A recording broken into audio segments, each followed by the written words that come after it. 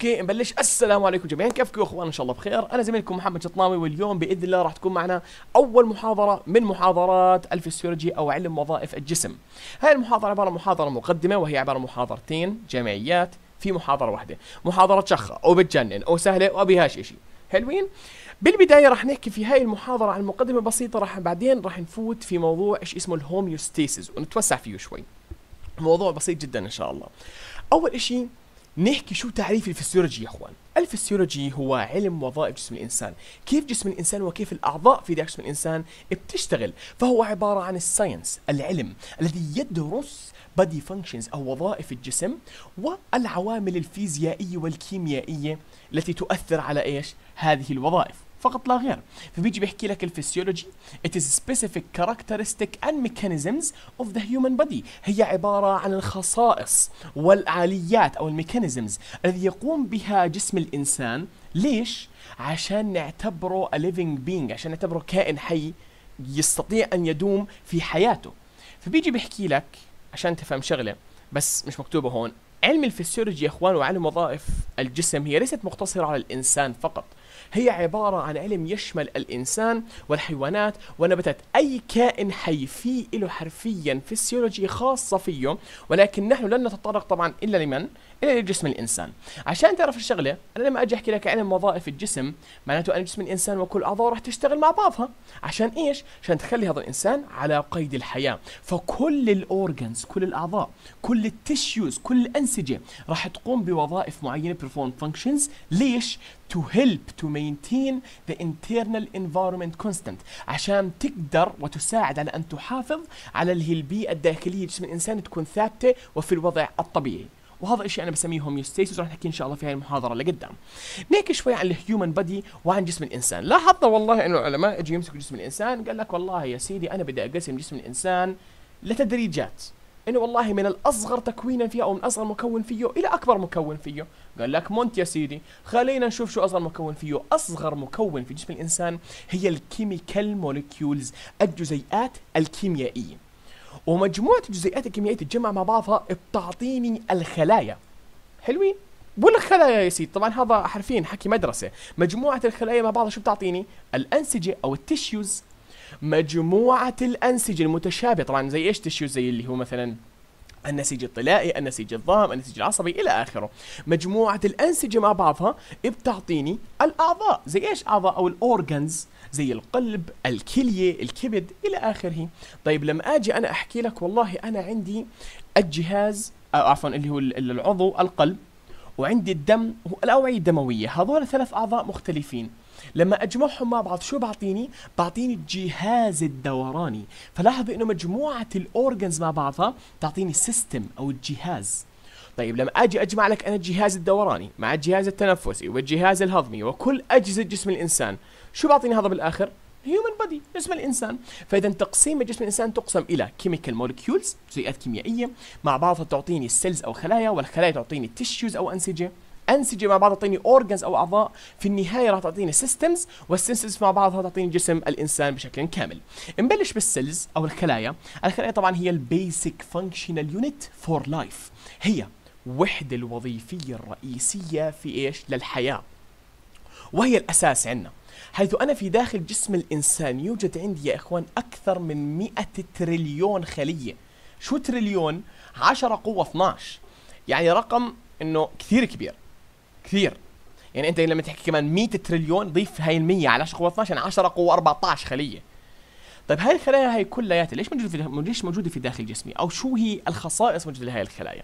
عشان تفهم شغلة أنا الخلايا في داخل جسم الإنسان كلياتها تستهلك الأكسجين والمواد الغذائية لكي تصنع طاقة.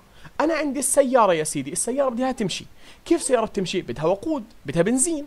هون نفس الإشي عندي خلية. خلية بدها إيش؟ بدها تعيش. كيف تعيش؟ بدها وقود لها ما هو وقود الخلية؟ هو الأكسجين وال nutrients أو المواد الغذائية. فكل الخلايا في جسم الإنسان تحتاج إلى هذا الأكسجين وهذه ال nutrients. ليش؟ عشان تنتج energy to produce energy عشان وظيفتها يظلها موجوده يظل على قيد الحياة.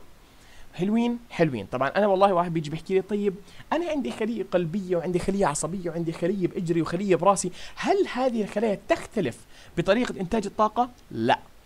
كل خلايا الجسم تعمل الطاقة بنفس الطريقة وراح تأخذوها إن شاء الله في مادة ال biochem بالتفصيل. ف mechanism of energy production طريقة إنتاج الطاقة في كل الخلايا is the same وهو نفسه. حلوين؟ حلوين. طيب أنا يا سيدي عندي هاي الخلايا مسكت هاي الأكسجين ومسكت هاي ال nutrients حلوين؟ راحت. انتجت لي إيش؟ طاقة. طيب مع هاي الطاقة هل راح ينتج عندي شيء كمان؟ نعم. راح ينتج عندي فضلات أو إيش اسمه waste products أو end products شو هم هذول؟ هم الفضلات اللي لازم أتخلص منهم إلى خارج جسم الإنسان. فبيجي بيحكي لك هون في كل بساطة بإنه they all produce the products into surrounding fluids. فأنا عندي هاي الخلية مثلا لما أخذت الأكسجين وال nutrients راحت أنتجت لي هاي الطاقة وهاي ال waste products هاي ال waste products هاي ال waste مثلا هون لازم تطلعه من داخلها لوين؟ على السائل الموجود حولها عشان أقدر بعدين أوديه على الدم. ومن الدم أطلعه إيش؟ إلى خارج جسم الإنسان. حلوين يا سلام عليك. وبيجي بيحكي لك إنه أنا معظم خلايا جسم الإنسان أيضا من خصائص الخلايا بان لديه القدره على إيش؟ على التكاثر أو ال reproduction أي معظم خلايا جسم الإنسان تستطيع أن تتجدد وأن تتكاثر. ما عدا بعض أنواع الخلايا زي الخلايا العصبية الخلايا العضلية. حاجة فاضله رح نحكي لها قدام إن شاء الله. حلوين حلوين. طيب مجموعة الخلايا مع بعضها شو بتعطيني؟ tissues أو الأنسجة. فالأنسجة هي group of cells مجموعة من الخلايا اللي إيش مالها؟ that have similar structure لديها structure وشكل متشابه مع بعضها البعض و they function together as a unit. بيشتغلوا مع بعض حرفيا كوحدة واحدة.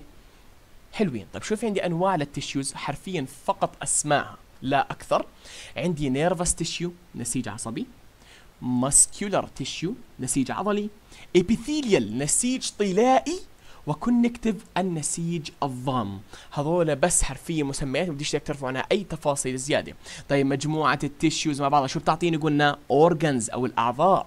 فهي فالأعضاء هي more than one tissue that functions together. أكثر من نسيج بيشتغلوا مع بعضهم البعض. شوف عندي اعضاء في داخل الإنسان؟ أي عضو يا إخوان؟ المعدة ال stomach القلب الأوعية الدموية الكبد الكلية كلها أعضاء.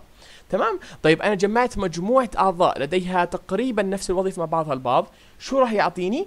راح يعطيني system أو الجهاز فالجهاز أو ال system هي organs that function together زي ال digestive system أو جهاز إيش؟ الهضمي وطبعا أنا في داخل جسم الانسان يوجد 11 system وما بدي إياكم تعرفوا أي تفصيل عن هذه ال systemات إلا اسمائها فقط لا غير. وحترجم لكم إياها هسه. circulatory system الجهاز الدوراني اللي بيكون فيه القلب والدم والاوعيه الدمويه ال digestive system اللي هو إيش؟ الجهاز الهضمي اللي بيهضم طبعا له تفاصيل جدا طويلة وراح ناخذها إن شاء الله في مادة ال final. مع دكتورة دعاء. respiratory system الجهاز التنفسي. urinary system الجهاز البولي. skeletal system جهاز العظمي. muscular العضلي. integumentary ألا وهو الجلد المقصود فيه. ال immune system وجهاز المناعة وراح نأخذه بإذن الله في الفصل القادم التفصيل. كمادة كاملة على ال immune system nervous system جهاز العصبي endocrine system اللي هو الغدد الصماء و reproductive ألا وهي الجهاز التناسلي. وزي ما قلت لك no details needed ما بديش تعرف أي تفصيل عن هاي عن هاي ال systemات. بس كأسماء بحيث تقول لك في الامتحان of the following are systems except وأنه هذا السؤال مستبعد ولا بحياته إجا ولا بحياته راح يجي. هسه عشان تفهم شغلة في مقولة دائما في كتاب جايتون أول ما تفتحه راح يجي يحكي لك we remain alive in almost is almost beyond our control أو our own control. هسه يا إخوان قبل 10000 سنة عدم المؤاخذة كان في دكاترة أبيش دكاترة؟ ما كان في دكاترة. طيب كيف عاش الإنسان؟ هينا 11 مليون نسمة بصلاة النبي. كيف عاش الإنسان كل هاي الفترة من دون دكاترة؟ لأنه أنا الإنسان عشان يعيش ما بيحتاج الدكاتره هذا إشي حرفيا beyond our control خارج عن إرادتنا. ربنا خلقنا وخلق جسم الإنسان بحكمته بحيث إنه يظل على قيد الحياة رغم أنفه. تمام؟ طبعا أنا في عندي عشان هاي الشغلة عشان الإنسان يظل على قيد الحياة لازم يكون في عندي أجهزة تنظم. جسم الإنسان بشكل عام. ففي عندي أنا many control systems in our body في عندي العديد من أجهزة التنظيم في داخل جسمي. من أمثلتها ال genetic control system الجينات أو ال DNA ال instincts الغرائز وال homeostasis راح نحكي إن شاء الله في التفصيل في هذه المحاضرة. أول شيء نحكي عن genetic control system أو الجينات ال DNA يا إخوان. أنا عندي خلية. هاي الخليه شو فيها؟ DNA شو وظيفة ال DNA ال DNA هي عبارة عن المادة الوراثية اللي فيها كل المعلومات التي يحتاجها الخلية عشان التي تحتاجها الخلية عشان تقوم بوظيفتها. فال DNA in our cells لما يصير لها activation وتفعيل it makes our cells do specific functions. تجعل خلايانا تقوم بوظائف معينة. طيب أنا عندي هاي ال DNA هي مجموعة معلومات تق... يعني بتسوي guidance أو تقود الخلية إلى تقوم بوظائف معينة. تمام؟ إذا هاي ال DNA صار فيها خلل هاي المعلومات اتخربطت صار فيها طفرة DNA mutation هل برأيك وظائف الخلية راح تظلها نفسها؟ أكيد لا. المعلومات ال guidance الرئيس اللي بيقود الخلية خرب صار فيه خلل. فشو يصير في عندي؟ abnormal function of the cell. وظائف غير طبيعية في داخل الخلية في داخل الخلايا بشكل عام. حلوين هاي بالنسبة لل genetic control system ال instincts أو الغرائز. الغرائز يا إخوان طبعا هاي تشمل الإنسان والحيوانات أيضا وموجودة في كل الكائنات الحية. أنا عندي ال instincts عليها أمثلة. When you feel hunger لما واحد يجوع شو بيسوي؟ بيفتح طلبات وبطلب. You seek food. بتروح بتاكل when you feel fear. لما واحد يخاف شو بيسوي؟ Seek refuge. حرفيا بدور على ملجأ مكان يتخبى فيه. وعشان to keep the speci- the species alive عشان اللي حرفيا الإنسان يظل على قيد الحياة و reproduce ويتكاثر ربنا زرع في جسم الإنسان ال sex desire وعشان ال sex desire هاب ذا انسان the human being أو الإنسان seeks fellowship ويبحث عن قرين له لكي إيش؟ لكي إنه يتكاثر و keep the species alive طبعا كمان في عندنا من ال instincts ألا وهو ال maternity أو الأمومة وهو لما اللي هي المرأة عندما آه تولد بحطوا له الطفل على إيش؟ على بطنها أو هي بين أيديها وهذا يعني يفعل زي ما تحكي غريزة الامومه عندها. وطبعا في كثير دراسات على قصة غريزة الأبوة إنه هل هي موجودة أم لا. أنا صراحة ما أقول موجودة ما جربناش بس انه أقول إنها موجودة عدم المؤاخذة. ولكن في كثير دراسات تدحض هذا الأمر ومش حكينا. ثالث نظام ينظم جسم الإنسان ال homeostasis. آها يا مرحبا. شو ال homeostasis يا اخوان ال homeostasis هذا اللذيذ القوي هذا الحلو. ال homeostasis بكل بساطة it is maintenance of nearly constant conditions in the internal environment. هو الحفاظ على constant conditions الحفاظ على وضع طبيعي أو الحفاظ على الوضع الطبيعي في داخل الإنسان في كل المناحي سواء كانت من ناحية درجة الحرارة ضغط الدم مستوى الجلوكوز كل شيء في داخل الانسان يكون within constant conditions في وضع طبيعي ثابت. تمام؟ وهذا الشيء بيشتغل ال homeostasis شو شو هو اللي بيشتغل عليه؟ بيشتغل على ال internal environment أو على اللي هو البيئة الداخلية جسم الإنسان. عشان ما نتخربطش ما هي ال internal environment نفهمها شوي يا إخوان. أنا عندي هاي خليه حلو؟ هاي الخليه في داخلها سائل. هذا السائل بسميه intracellular fluid أو ال fluid أو السائل الداخل الخلوي. في عندي سائل حوالي الخلايا هون موجود وسائل داخل الاوعيه الدمويه هون هذا اسمه بلازما وراح نحكي اسمه كمان إن شاء الله بعد شوي. وهذا اسمه interstitial fluid أو اللي هو السائل بين الخلوي. هذول الاثنين بسميهن extracellular fluid سبحان الله السائل خارج الخلوي. ما بدهاش علم فاهم كيف؟ هذا ال extracellular fluid له اسم ثاني. شو هو؟ Internal environment. okay فال internal environment مين هي? هي ال extracellular fluid السائل خارج الخليه فيعني ال homeostasis هذا ال homeostasis بحافظ لي على تراكيز المواد. تكون ثابتة في داخل ال extracellular fluid فقط؟ نعم صحيح. عشان إذا أنا حافظت على ال extra fluid يكون ثابت تراكيزه ال ECF والتراكيز مواد داخل الخلية بيكون built in يعني حرفيا إيش ماله؟ راح يكون built in إنه ثابت وفي الوضع الطبيعي. حلوين؟ فاذا أنا homeostasis maintenance of near constant conditions بمين؟ بال internal environment اللي هي مين؟ ال extracellular fluid حلوين؟ حلوين. طبعا هاي السطرين هي فقط إعادة لهي ولكن فلسفة زيادة فاشطبوا لي إياها. نوتة صغننه بسيطة. بيحكي لك highest number of cells in our body are the RBCs. وهذا السؤال سنوات قبل هالمرة. ألا وهو أعلى عدد للخلايا في داخل جسم الإنسان. من هو؟ هي خلايا الدم الحمراء. وخلايا الدم الحمراء يا إخوان عشان نفهم شغلة عددها مش قلنا خلايا جسم الإنسان 100 تريليون خلية؟ خلايا الدم الحمراء لحالها 25 تريليون. وإذا بدي أجي أقسمها للدم بيجي بيحكي لك 5 مليون خلية لكل إيش؟ سنتيمتر مكعب. هاي رياضيات سيبك منها. ربع خلايا جسم الإنسان عبارة عن خلايا دم حمراء يا إخوان لهالدرجة. نعم. بيحكي لك it's very هذا ال homeostasis it's very essential for survival جدا مهم عشان الإنسان يضل على قيد الحياة. و each cell contribute وكل خلية في داخل جسم الإنسان تشارك في هذا التو... الاتزان أو ال homeostasis طيب. هذا الاتزان الداخلي أنا احافظ على تراكيز المواد في داخل الإنسان تكون كلياتها ثابتة أو في الوضع الطبيعي. على إيش بتشمل؟ شو في أمثلة عليها؟ إني أنا أمثلة homeostasis إني أنا أحافظ على ال temperature في الوضع الطبيعي أحافظ درجة حرارة الإنسان تكون بالوضع الطبيعي. أحافظ على ضغط الدم يكون بالوضع الطبيعي. على ال body fluid composition على مكونات السوائل في داخل جسم الإنسان تكون بالوضع الطبيعي. طبعا من أيونات من ال nutrients من اكسجين من ثاني أكسيد الكربون إلى آخره.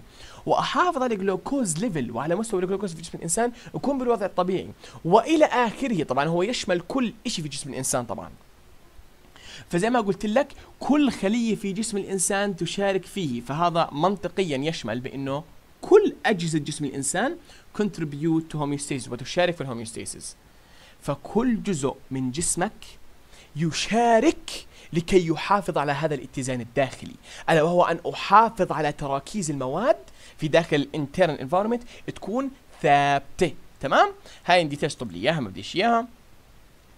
هسا عشان نفهم شغلة ال body cells لما أجي أطلع على الخلايا وقبل شوي أنا شرحت لكم إياها بالرسمة بأنه أنا خلايا جسم الإنسان محاطة ب watery internal environment محاطة بماذا؟ محاطة بسائل صح هيو ال interstitial fluid والبلازما هذا اللي هو السائل اللي حوالين الخلايا. شو سميته كمان غير ال extracellular fluid سميته internal environment. فهي محاطة بال internal environment طيب السوائل في داخل جسم الإنسان تقسم إلى قسمين وحكيناهن ألا وهو ال extracellular fluid اللي هو السائل خارج الخلوي وال intracellular fluid السائل داخل الخلوي.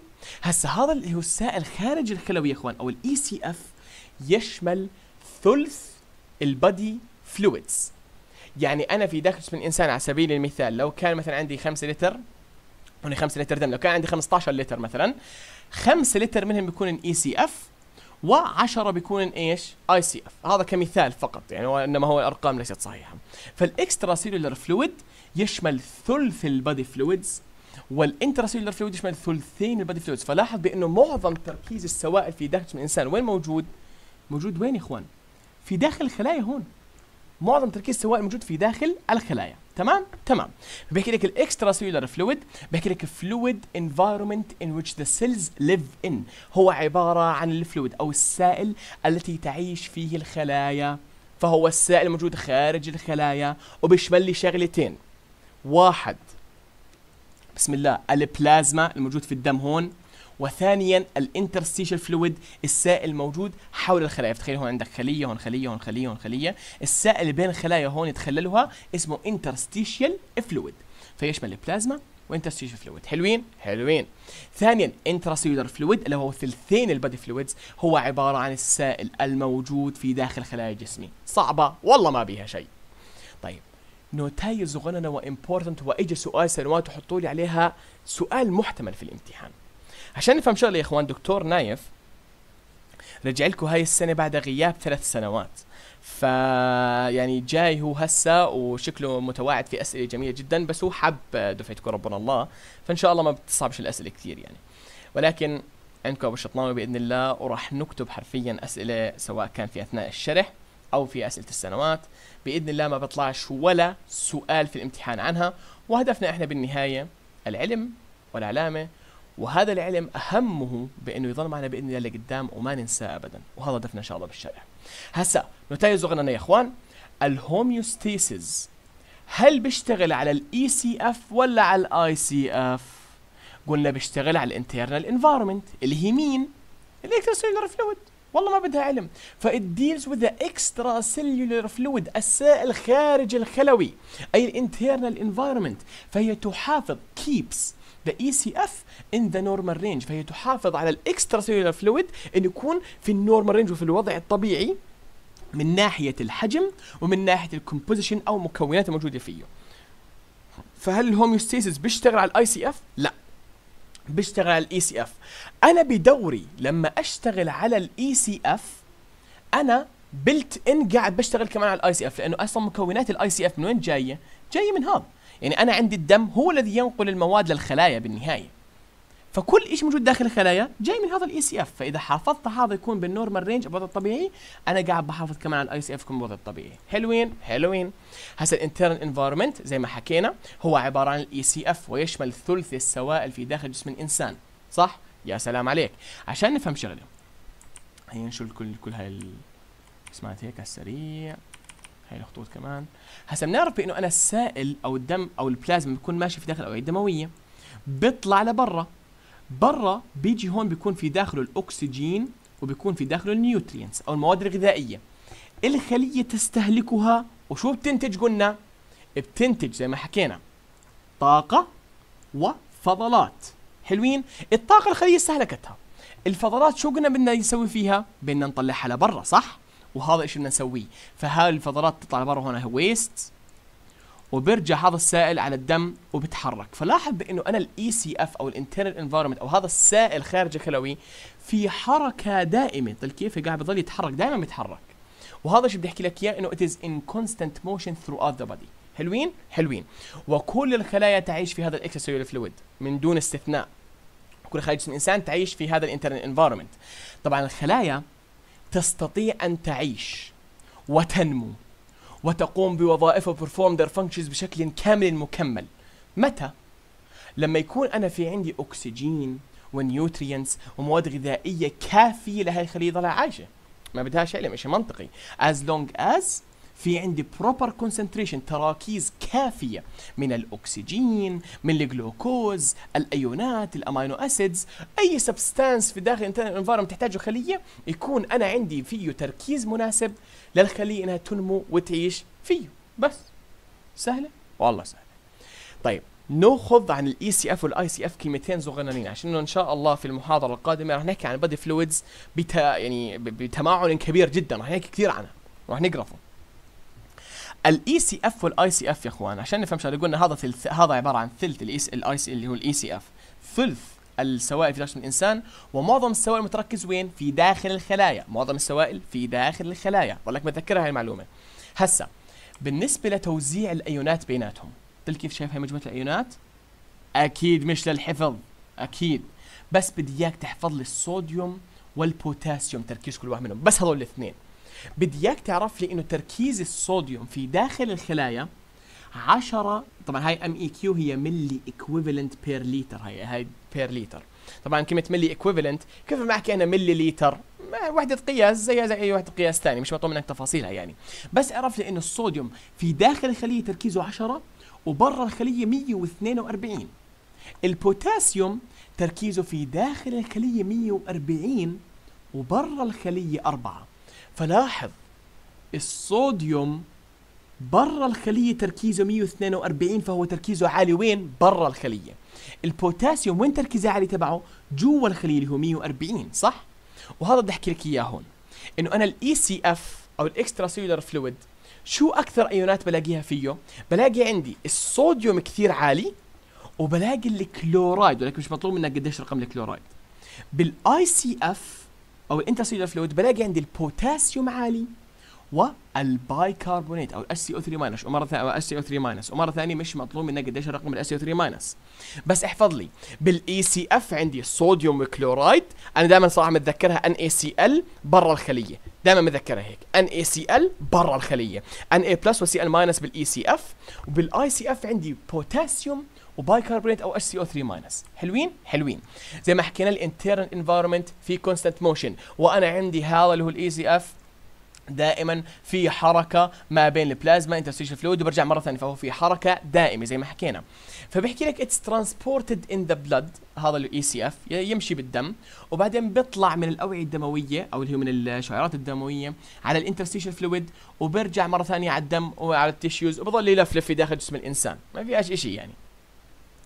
هسا عشان طبعا هاي ما ركزتش عليها ليش؟ أنا راح أحكيها هون بالتفصيل إن شاء الله. زي ما حكينا مرة ثانية كل الخلايا تعيش في نفس ال environment. كل الخلايا في جسم الإنسان عايشة في هذا ال ECF فيش اي جديد. تمام؟ تمام. خلينا نشوف هاي الرسمة وهي اختصار لهذا الحكي كامل. بدي أريحك وفهمك اياه هسه. طلع علي. أنا عندي خلينا نشيل هذا على السريع هيك. لا wait يعني شنو الرسمة؟ هاي الرسمة. أنا عندي الدم.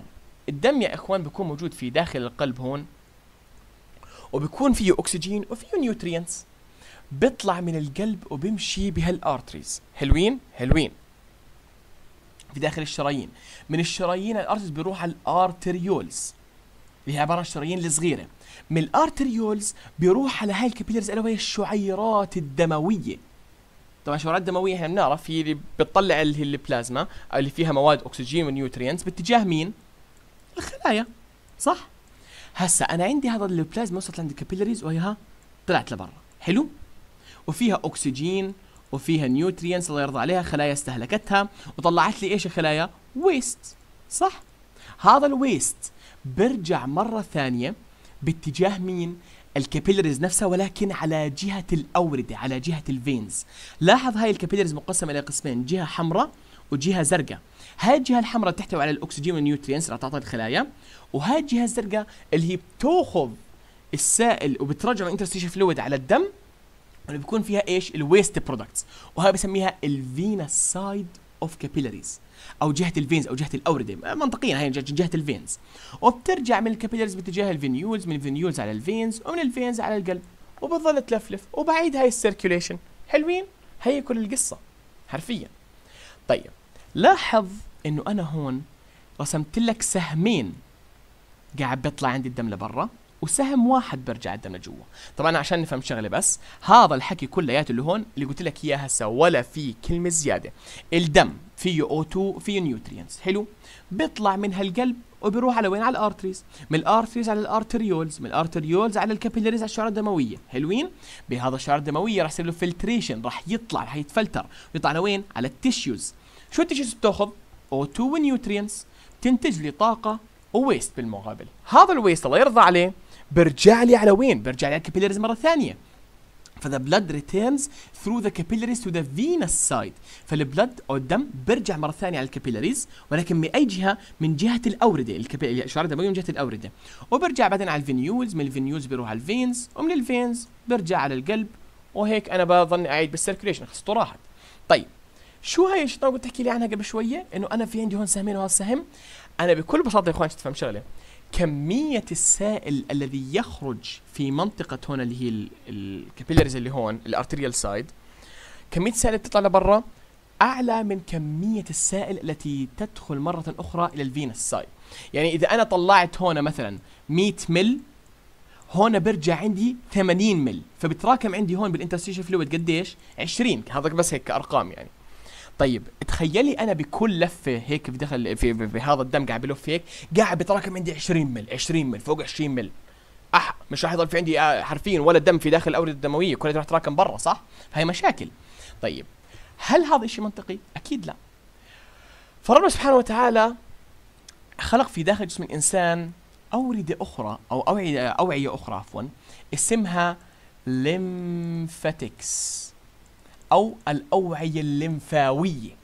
هذا الدم الزيادة اللي تراكم عندي حول الخلايا برجع عبر هذه الأوعية الليمفاوية وبيروح وبرجع وبرجع وبرجع لوين بصب عندي؟ بال veins خلصت وراحت برجع على الدم. فهذا السائل اللي تراكم عندي هون أنا بالنهاية رجعته عن طريق الأوعية الليمفاوية ورجعته إلى وين؟ إلى ال veins سهلة؟ فبيجي بيحكي لك هون ال excess fluid filtered by blood capillaries اي السائل الزياده اللي تراكم عندي. بعد ما أنا صار في عندي filtration عبر اللي هو ال blood capillaries أو الشعيرات الدموية يتم التقاطه و picked up من ال lymphatics الاوعيه الليمفاويه وهاي ال lymphatics مين بترجع لي؟ بترجع لي هذا السائل على ال venous system أو على ال veins أو على الأوردة وهاي الأوردة وين بتلاقيها؟ بال chest يعني هو ما بيروح على أي وريد في جسم الانسان لا لا لا. هو بيروح على ال veins اللي موجودة في ال chest بشكل أساسي اللي هو ال subclavian vein راح تاخذه إن شاء الله قدام.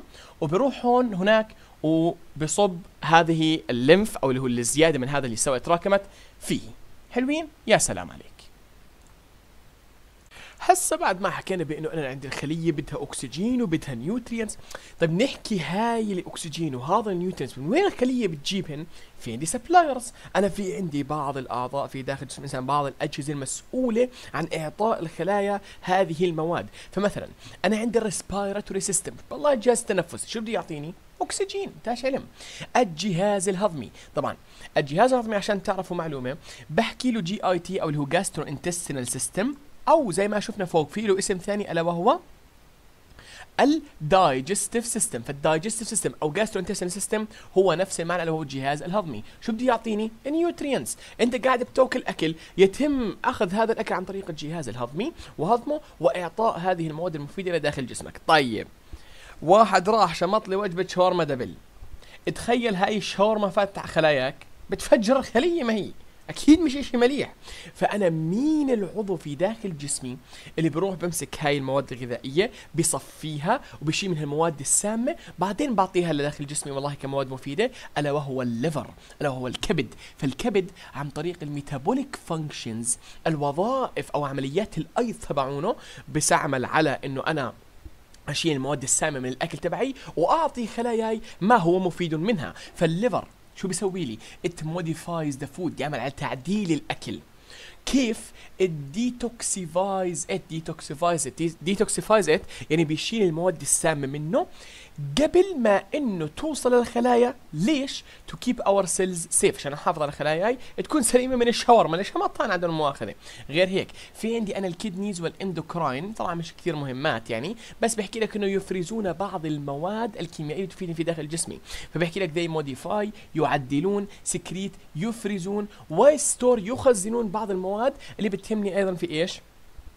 في الحصول على ال nutrients في داخل جسمي من دون أي تفاصيل زيادة. ال musculoskeletal system الجهاز العظمي والعضلي. يعني مش قلنا skeletal ومش قلنا muscular جمعناها مع بعض سمونا musculoskeletal system الجهاز العظمي والعضلي والعضلي. شو بستفيد منه في أخذ ال nutrients كيف أنا بيساعدني على أخذ المواد الغذائية أو الأكسجين؟ بكل بساطة أنا هسه قاعد على مكتبي جعت بدي أروح على الثلاجة. كيف بدي أروح على الثلاجة؟ بكل بساطة بقوم بحرك عضلاتي وعظامي عشان أروح لهناك. ف they help me to move to appropriate place عشان إيش؟ obtain food عشان أقدر آخذ الأكل. وغير هيك أيضا يساعدوني على الحركة لكي أحمي نفسي من أي مخاطر. وهيك أنا بقدر والله اني أنا احصل إني أحصل على الأكل وإني أحمي نفسي من أي شيء حوالي. بس. طيب. هسا بالنسبة لل cardiac out فإن مصطلح اسمه cardiac output قبل ما نحكي عن هاي الفقرة. مصطلح ال cardiac output يا إخوان هي تكتبوا لي إياها بخط ايدكم فوق. هي كمية الدم التي يضخها القلب في الدقيقة. تمام؟ قديش كميتها بال rest بالوضع الطبيعي من دون ما الانسان يكون قاعد بيسوي exercise أو اللي هو تمارين رياضية 5 لتر في الدقيقة. فإذا ما هو تعريفه؟ كمية الدم التي يضخها القلب في الدقيقة. وكميتها في ال rest أثناء ما الإنسان مرتاح جاعط وقاعد على جنبه 5 لتر في الدقيقة. هسه أنا بدي أحكي عن ال magnitude كمية هذا ال cardiac output at rest وأثناء ال exercise. ومش بس كميته بدي أحكي عن ال distribution إنه كيف الدم بتوزع إلى أعضاء الجسم في أثناء ال rest وفي أثناء ال exercise. شايفين هاي الرسمة؟ أنا بس حرفيا مش كثير بتهمني يعني. أي أرقام فيها بس أعرف لي بأنه كمية ال cardiac output اللي هي كمية الدم التي يضخها القلب في الدقيقة كميتها اللي هي إيش؟ 5000 مليلتر أو 5 لتر في الدقيقة. حلوين؟ حلوين. طيب هذا سؤال. لما واحد يجي يتدرب ويسوي exercise مش قلبه بصير ينبض كثير أسرع؟ فمنطقيا القلب قاعد بنبض كمية دم أكبر.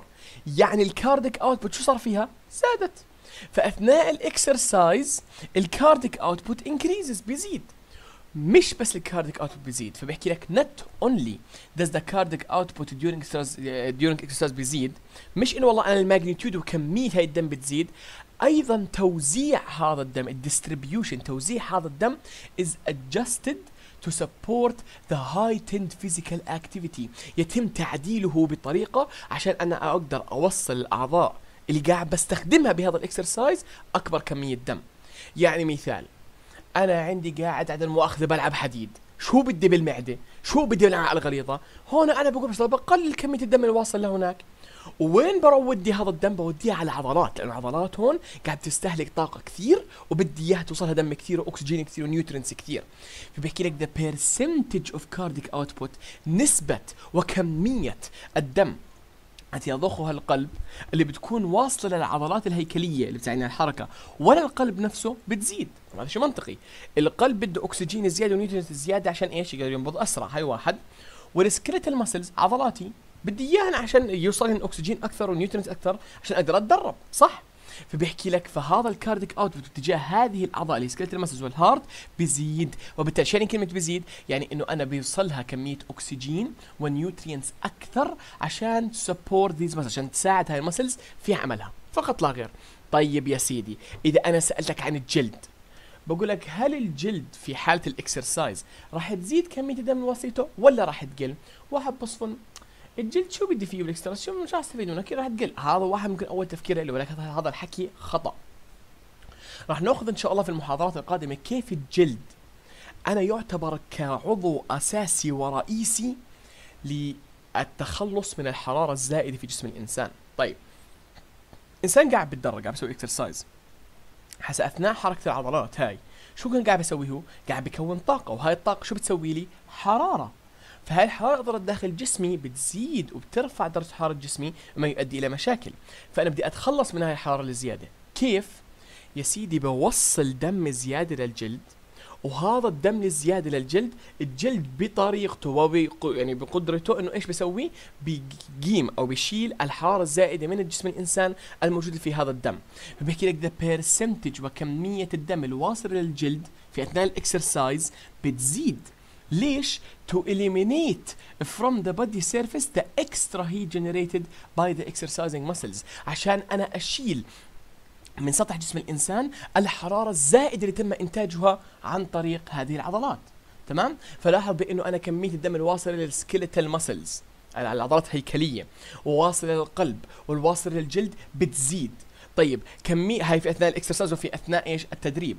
طيب إذا أنا واحد قال لك في أثناء التدريب هل كمية الدم الواصلة للمعدة بتزيد ولا بتقل؟ منطقيا راح تقل. شو بدي بالمعدة؟ مثلا للأمعاء أكيد راح تقل. للجهاز التناسلي أكيد راح تقل. شو بدي فيها؟ فاهم كيف؟ فاذا ال percentage to most other organs will shrink فكمية الدم الواصلة للأعضاء الأخرى بشكل عام راح تقل. حلو؟ حلو. طيب في عندي أنا عضو كثير مهم صراحة. الا وهو الدماغ. برأيك هل الدماغ راح تزيد كمية الدم الواصله له ولا راح تقل؟ واحد بصفن إنه إذا زادت آه والله ممكن بدي أشيل exercise بس مش كثير واحد ممكن يتحير. أريحك يا سيدي. الدماغ هو يعتبر اول شيء منطقيا. طبعا هو أهم عضو في داخل جسم الإنسان.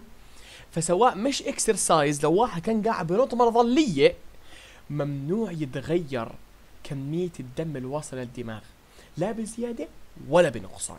كمية الدم الدم الوصل للدماغ في الدقيقة من هذا ال cardiac output كله تقريبا 750 مليلتر في الدقيقة. حلو؟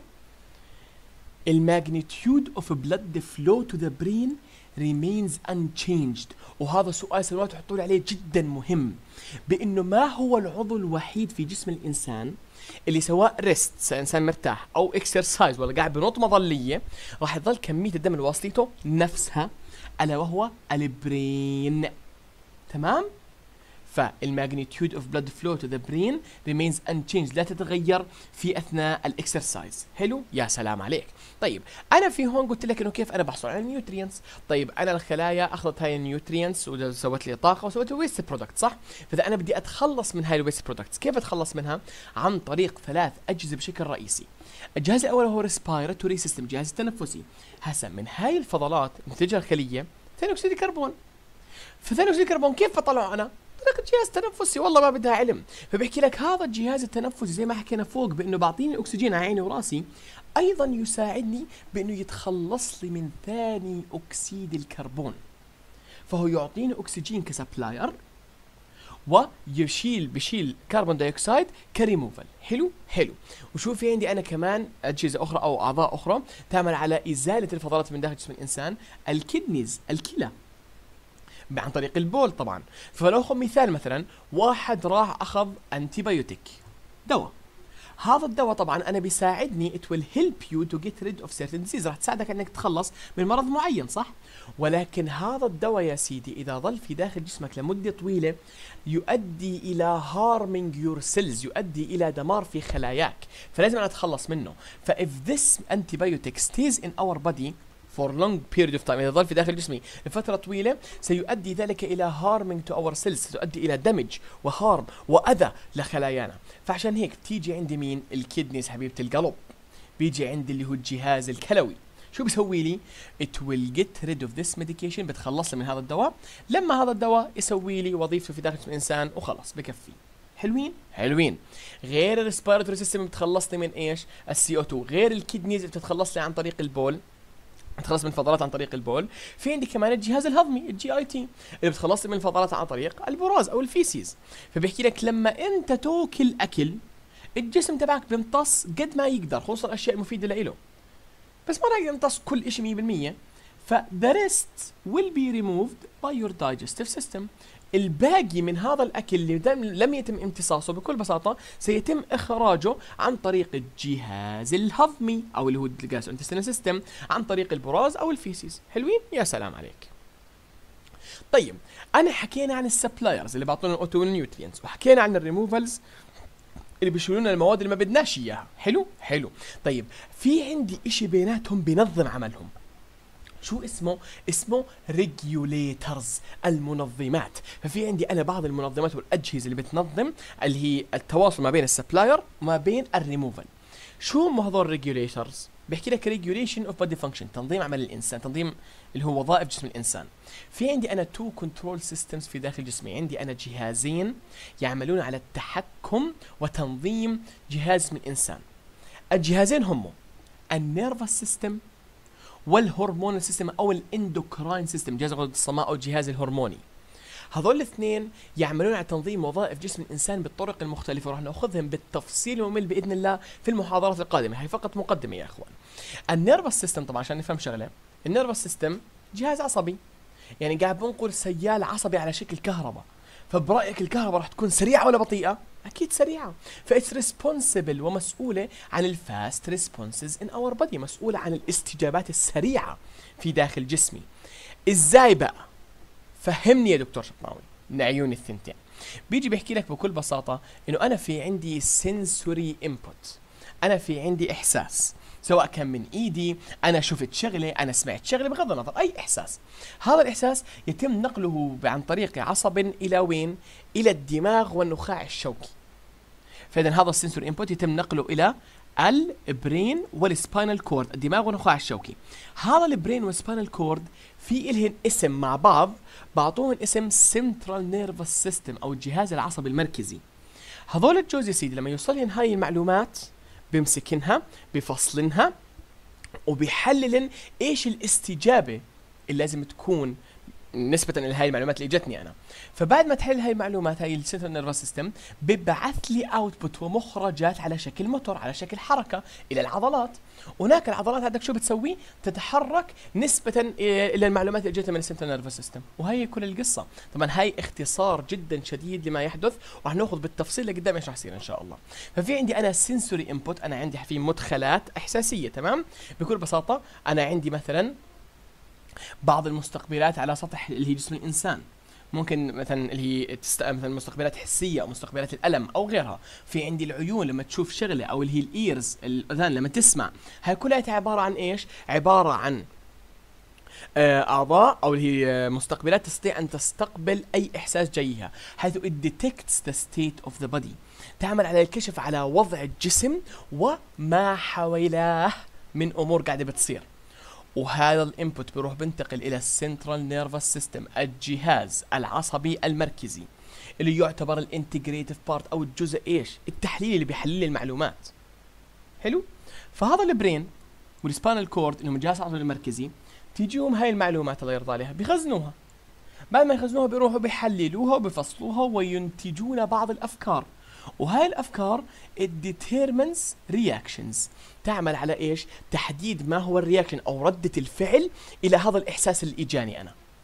وهاي ردة الفعل تنتقل من ال central nervous system باتجاه ال motor output أو باتجاه عن طريق اللي هي بعض الأعصاب تذهب إلى العضلات وهناك it carries out the one's desire وبتخلي الإنسان يسوي الحركة اللي هو بده إياها بكل بساطة. طيب غير هيك يعني هاي بشكل عام إذا صار عندك إحساس بدك تتحرك مكان أو غيره. في عندك كمان ال central nervous system هذا يا إخوان. يبعث بعض الأعصاب اللي بسميها أنا autonomic nervous system غير اللي هي الأعصاب تبعت الموتور. أيضا يبعث بعض الأعصاب اسمها autonomic nervous system إلى باقي أعضاء الجسم أو إلى أطراف الجسم. هذا ال autonomic nervous system راح في له محاضرة كاملة مع الدكتور مصطفى شهبات إن شاء الله. نحكيها بالتفصيل. هذا ال autonomic nervous system جزء اخذتوه بالمدرسة ألا وهو الكر والفر. ينقسم إلى قسمان ال sympathetic وال parasympathetic nervous system. وزي ما قلت لك هذا ال sympathetic أو ال parasympathetic بكل بساطة هي عبارة عن أجهزة عصبية أو هي عبارة عن أعصاب تتحكم بوضع جسمك على حسب الوضع الخارجي لك فمثلا أنا دائما بشبهها كالآتي. ال sympathetic nervous system يتم تفعيل هذا الجهاز العصبي متى؟ لما يكون الإنسان في حالة stress تخيل في قدامك أسد وبدك تفل منه فال sympathetic بتشغل عندك. شو يعني بتشغل عندك؟ يعني القلب تبعك بصير يضخ كثير بسرعة عضلاتك بتصير كثير تتحرك بسرعة العين تبدك تتوسع عشان تشوف كل شيء حواليك وهكذا. ال parasympathetic أنت لما تكون عارفين قاعد جاعد حالك قدام التلفزيون ومرتخي هون راح تكون عيونك عادي إنه constricted إنه عارفين مسكرة شوي عشان إيش؟ تقدر بس تشوف اللي بدك اياه أنت. تكون عضلاتك هادية قلبك هادي مش قاعد بضخ كثير بسرعة وهكذا. فهاي ال autonomic nervous system أيضا يعتبر واحدة من التشعبات الجهاز العصبي اللي أيضا تتحكم في داخل جسمي كيف؟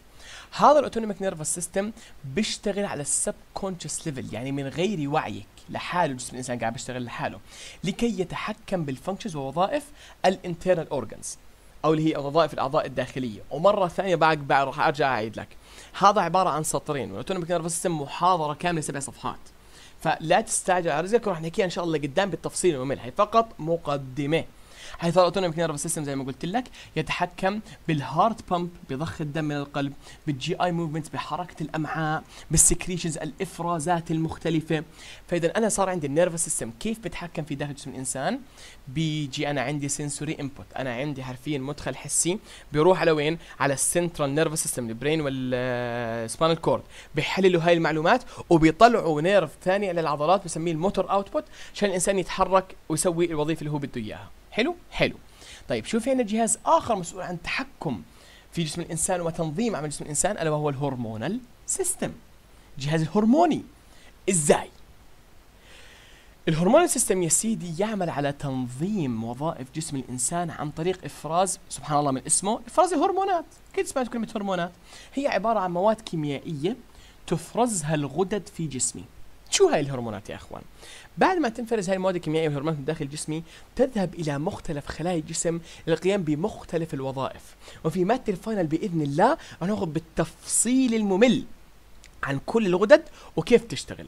هسا أنا عندي ثمان غدد ثمان glands ما راح نحكي عنها هسه بالتفصيل بس أمثلة صغيرة. مثلا أنا عندي ال thyroid gland الغدة الدرقية بتفرز لي هرمون اسمه هرمون الغدة الدرقية سبحان الله thyroid hormone هذا ال thyroid hormone يتحكم بال rate of intracellular reactions يتحكم بمستوى التفاعلات في داخل الخلية. حيث أنا ال thyroid hormone إذا زاد عندي مستوى التفاعلات وكمية التفاعلات الكيميائية اللي بتصير في داخل الخلية بتزيد. فحط لي بخط إيدك. زيادة ال thyroid hormone تزيد ال rate of intracellular وتزيد من مستوى هذه التفاعلات. الإنسولين مثلا اللي بينفرز من البنكرياس هذا هرمون.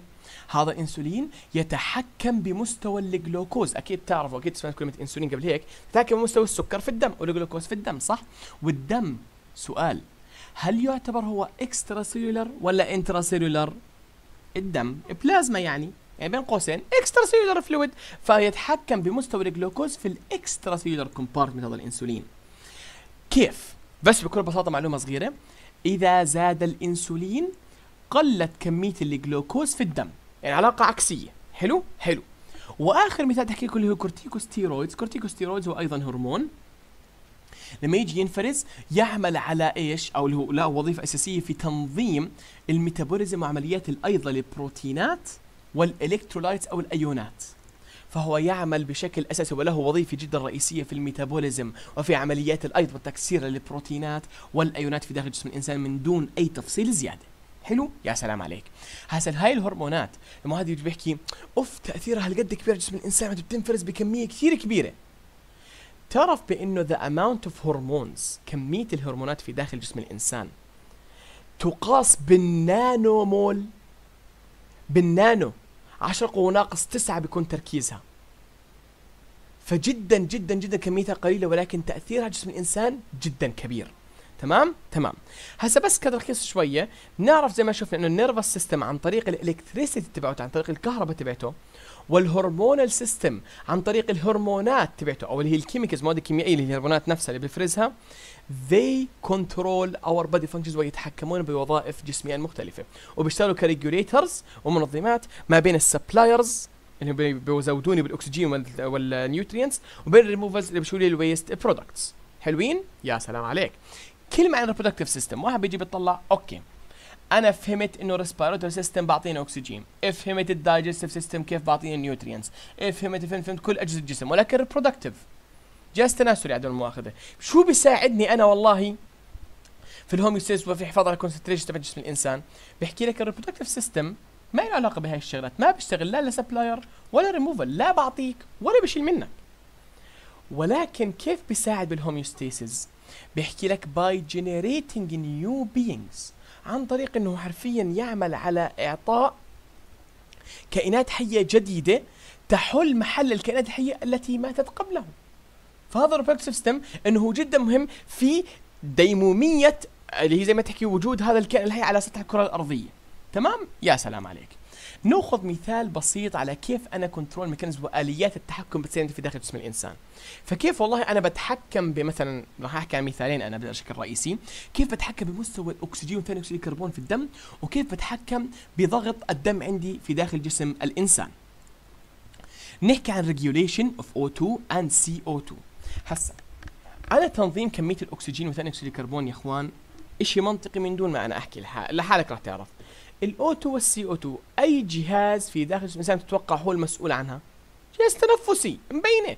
أنا عندي أكسجين وثاني اكسيد الكربون مين بده يتحكم بال levels تبعهم؟ جهاز التنفسي. فالجهاز التنفسي هو المسؤول عن التحكم في مستوى الأكسجين وثاني أكسيد الكربون في داخل جسم الإنسان. لأنه هو الذي يدخل الأكسجين إلى داخل جسمي وهو الذي يخرج ثاني أكسيد الكربون إلى الخارج. بس. طيب نشوف كيف تنظيم الأكسجين يا سيدي. كالآتي. عشان نفهم بس معلومة صغيرة أنا عندي كريات الدم الحمراء في داخلها شيء اسمه هيموغلوبين. هذا الهيموغلوبين هو المسؤول عن نقل الأكسجين من الرئة إلى باقي أجزاء الجسم وكل خلايا الجسم. حلو؟ حلو. بيحكي لك لما الهيموغلوبين الموجود في داخل خلايا الدم الحمراء يكون مشبع بشكل كامل بالأكسجين. يعني هذا الهيموغلوبين شايل أكسجين 100% مش يعني ما فيش أي مساحة زيادة لأنه يشيل أكسجين. 100% مشبع بالأكسجين. هناك ينقل الأكسجين من ال lung من الرئة إلى ال 100 تريليون cell في داخل جسمي حلو؟ حلو. هسا بالوضع الطبيعي والإنسان جاعط وقاعد قدام التلفزيون at rest الهيموغلوبين لما يوصل لعند خلاياي هسا أنا قلت لك في داخل الهيموغلوبين تخيل لي إنه هو مشبع 100% بالأكسجين تمام؟ لما يوصل لعند خلاياي عندك هذا الهيموغلوبين في في وضع الراحة الهيموغلوبين يترك فقط ربع كمية الأكسجين الذي يحملها. ما بترك كل الأكسجين وبروح بترك بس كمية الربع اللي 25% من كمية الأكسجين الذي يحملها. طب حب فن طيب ليش؟ يعني ليش من الأول إحنا ما حملناه؟ بس هذول 25% ونقلناه للخلايا وخلص. ليش غلبناه وشلناه خل- خليناه يشيل. هاي الكمية الكبيرة من الأكسجين. أنا بقول لك يا سيدي أنت لما تيجي تتدرب وتيجي تسوي يعني سواء كان كارديو أو حديد أو غيره خلاياك رح تحتاج إيش؟ أكسجين زيادة. تخيل لو إنه الهيموغلوبين شايل بس هاي ال 25% كمية 25% من الأكسجين هاي بده ياخذ 25% وبده يرجع مرة ثانية يلف على الرئة ياخذ كمان 25% ويرجع عشان يعطي الخلايا هاي أكسجين زيادة. فلفته كثير طويلة. فبكل بساطة أنا إذا الإنسان حرفيا قاعد إيش بده يتدرب بكل بساطة أنا هذا الأك- الهيموغلوبين بالوضع الطبيعي بعطي 25% بس. لما إنسان يتدرب بعطيه بدل 25 بعطيه 35 ولا 40% بزيد له من كمية الأكسجين المعطاة له من دون ما أغلب حالي والف مرة ثانية على الرئة عشان آخذ أكسجين مرة ثانية.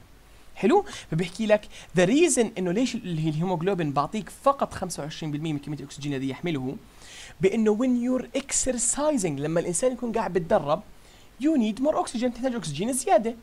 حلوين؟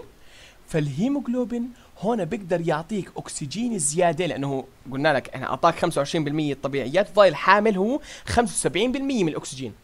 عادك هو إذا أنت محتاج أكسجين زيادة بعطيك منها 75% براحته من دون ما يضطر without the need to go back to the lungs بدون ما يضطر يروح للرئة مرة ثانية ويأخذ أكسجين زيادة. تمام؟ حلوين. هاي بالنسبة للأكسجين يا سيدي. طيب ال carbon dioxide level كمية ال carbon dioxide تنظيم ال carbon dioxide بحكي لك تنظيم level أو مستوى أو تركيز ثاني أكسيد الكربون في الدم يتم عن طريق مستقبلات. هاي مستقبلات مستقبلات في عندك مستقبلات طرفية اسمها peripheral receptors وعندك مستقبلات سنترال اللي هي اسمها central receptor أو وسطيه تمام؟ تمام central receptors اسمهم. نأخذ مثال كالآتي. أنا بيجي بحكي لك. إذا هاي المستقبلات حست بإنه كمية ال CO2 عندي زادت شو بتسوي يا سيدي؟ كالآتي افهم علي. أنا عندي هذا ال CO2 زاد عندي في الدم. حلو؟ حلو. لما يزيد كمية ال CO2 عندي في الدم هذه المستقبلات راح تحس هذا الأمر وترسل إشارة إلى ال respiratory center في داخل الدماغ. أنا في داخل الدماغ عندي في عندي مركز اسمه المركز التنفسي. المركز التنفسي يتحكم في التنفس. حلو؟ لما تزيد كمية ال CO2 في الدم توصل رسالة من هاي ال peripheral central receptors لما تحس إنه ال CO2 زاد بتودي رسالة إلى هذا المركز التنفسي في الدماغ. هذا المركز التنفسي في الدماغ توصل المعلومه إنه اول ال CO2 عندي زايد؟ امم طيب ماشي. يعني لازم أتخلص من هذا ال CO2 الزايد. شو بسوي أنا؟ بسوي إشي اسمه hyperventilation أو بزيد من معدل التنفس. فبخلي الإنسان يتنفس بشكل عميق وبشكل سريع جدا. ليش؟ عشان يطلع كثير ثاني أكسيد الكربون لبرا. وبالتالي بتخلص من ثاني أكسيد الكربون الزايد عندي. فالقصة كالآتي. إذا ال CO2 عندي عالي بحس لي هذول ال peripheral وال central receptors إنه ال CO2 عالي. بيرسلوا رسالة لمركز التنفسي أو ال respiratory center الموجود في الدماغ. هذا المركز بيطلع CO2 عالي طيب. بودي رسالة هذا من المركز هذا نفسه بيودي رسالة إلى ال lungs والجهاز التنفسي إنه تنفس بسرعة عشان بدي أطلع ثاني أكسيد الكربون لبرا زيادة. فهذا ال respiratory center يرسل رسالة مما يجعل ال person hyperventilate يتنفس سريعا. شو يتنفس سريعا؟ يعني يزيد ال rate of breathing بخلي الإنسان يزيد مستوى تنفسه. ليش؟ to expel more CO2 outside the عشان يزيد كمية ال CO2 تطلع لبرا وخارج جسم الإنسان. طيب إذا كان العكس إذا كانت كمية ال CO2 قليلة يا سيدي شو راح يصير عندي؟ بيجي بقول لك بكل بساطة إذا كانت كمية ال CO2 قليلة هذا الأمر سيؤدي إلى حرفيا 180 درجة اعكسها ال receptors بتحسها بتودي لل respiratory center بالدماغ نفس الشيء ولكن ال respiratory center هون ما بزيد معدل التنفس لا يقلل من معدل التنفس. لأنه أنا ال CO2 ما بدي أتخلص منه بدي أخليه في داخل جسمي لأنه كميته قليلة فبدي أحافظ عليه. حلو؟ حلو. خلصنا من إيش؟ من ال regulation تبع الاو 2 والسي أو 2 نفوت على تنظيم ضغط الدم، تنظيم ضغط الدم بدي إياك تفهم لي منه نقطة واحدة فقط لا غير. إنه أنا في عندي system اسمه baroreceptor system أو مستقبلات اسمها baroreceptors. كلمة baro معناها ضغط. receptor مستقبل فهي مستقبلات الضغط. فشو بتسويها مستقبلات الضغط؟ بتقيس لي ضغط الدم وبتشوف لي إياه إذا إنه عالي أو قليل بس حرفيا. وين مكانها هاي يا دكتور؟ أنا بقول لك وين مكانها، طلعوا لي هون، هذا القلب القلب طالع منه الشريان الأول وهو الأيورتا شايفينه هذا الكبير هذا عريض. هذا الأيورتا بيجي بلف هيك لفة شايفين؟ اللفة هي اسمها aortic arch أو اللي هي لفة تبت الأيورتا. هنا بتلاقي عندك aortic baroreceptor ولما تيجي تطلع لفوق شوي في عندك artery اسمه carotid artery أو الشريان الكاروتيد رح تاخذوا إن شاء الله بال anatomy هذا الحكي هون راح يكون في عندك أيضا بال carotid artery عندك baroreceptor اسمه carotid baroreceptor فاذا ال baroreceptors موجودة بمكانين بال carotid artery وعلى ال aortic arch. حلو؟ حلو. هذول ال baroreceptors الموجودات بال carotid artery وال aortic arch زي ما حكينا أو arch of aorta في عندك مستقبلات that monitor blood pressure تعمل على مراقبة ضغط الدم. شو اسم هاي المستقبلات للمرة المليون baroreceptors مستقبلات الضغط. طيب كيف بتحس إن ضغط الدم زاد أو قل؟ يصير كالاتي طلع علي بهي الصورة. أنا إذا عندي هذا وعاء دموي وهذا وعاء دموي كان قاعد بمشي فيه الدم كمية الدم فجأة زادت. شو راح يصير بالوعاء الدموي هذا؟ راح يتوسع فيه stretching تمدد. هذا التمدد مين بيحس لي إياه؟ هاي ال baroreceptors مثل كيف؟ They get stimulated تم تحفيز هذه المستقبلات ب stretching effect بتمدد الأوعية الدموية عن طريق زيادة حجم الدم اللي عندي إياه. تمام؟ فإذا زاد حجم الدم يعني زاد ضغط الدم بين قوسين هذا يؤدي إلى تمدد الأوعية الدموية. مين بيحس لي هذا التمدد؟ ال baroreceptor. عندك ال baroreceptor لما يشوف إنه أنا عندي تمددت الأوعية الدموية وحيث إنه ضغط الدم عندي زاد ببعث لي رسالة لمنطقة في الدماغ اسمها ال medulla هاي ال medulla هون موجودة كيف وينها؟ هذا الدماغ وهون عندك شيء اسمه brain stem رح تاخذوه بال anatomy كمان إن شاء الله. في منطقة اسمها medulla هون. هاي ال medulla بوصلها إيش؟ بيوصلها رسائل من هذا ال baroreceptor. عادك يا سيدي بهذا ال medulla في عندي مركز اسمه vaso motor center. أنا عارف في معلومات شوي كثيرة صراحة ولكن بس افهم لي اياه فهم. بال medulla عندي مركز اسمه vasomotor center ألا وهو مركز التحكم بالأوعية الدموية. حلو؟ حلو. أنا بيجي بحكي لك لما توصل أنا عندي رسالة من ال baroreceptor لهاي ال medulla إنه يا medulla يا vasomotor center بال medulla أنا عندي الضغط زايد. هذا ال vasomotor center بيشتغل شغله عشان يرجع يقلل ضغط الدم لوضعه الطبيعي. كيف؟ بحكي لك أنا هذا ال vasomotor center راح يصير فيه inhibition تثبيط. عندما يتثبط ال vasomotor center هاي معلومة صراحة ما بتهمنيش كثير سيؤدي ذلك إلى decrease pumping of the heart كمية اللي هي انقباض القلب. راح تقل عندي وال peripheral vessels والأوعية الدموية راح تتوسع. تل كيف عشان تفهم شغلة. ضغط الدم يا إخوان يعتمد بشكل أساسي على شغلتين. Blood pressure يعتمد على شغلتين. الشغلة الأولى اللي هي ال cardiac output ال cardiac output كمية الدم اللي يضخها القلب في الدقيقة. ثانيا diameter of vessels. أنا قديش والله أنا عندي قطر الأوعية الدموية. حلو؟ حلو. أنا عندي إذا زاد ضغط. إذا زاد إذا زادت قوة نبض القلب يعني راح يزيد عندي ال cardiac output وبالتالي راح يزيد عندي إيش؟ blood pressure طيب بالنسبة لل diameter بالنسبة للي هو بسم الله الرحمن الرحيم القطر تبع الأوعية الدموية شو علاقته مع ال blood pressure يا سيدي أنت فهم لي اياها فهم. أنا عندي بربيش مي قاعد بمشي فيه المي وبيطلع عادي وضع طبيعي. امسك بطرف إصبعك وسكر لي شوي من رأس هذا البربيش. شو راح تلاحظ ضغط المي قاعد بصير صار كثير عالي.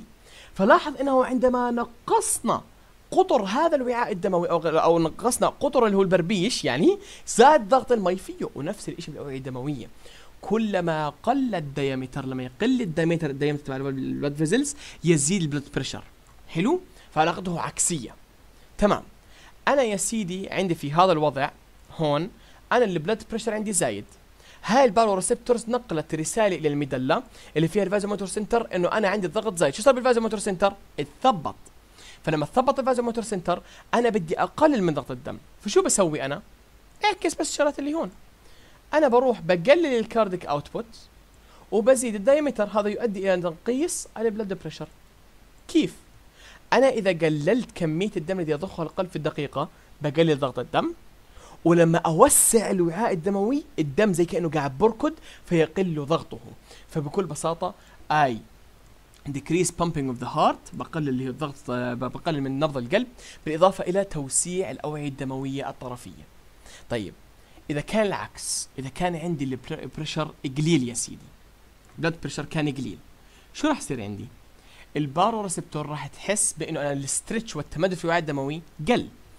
تبعث رسالة إلى ال medulla. هذا الأمر سيؤدي إلى تحفيز stimulation لاحظ عكس هون بالضبط.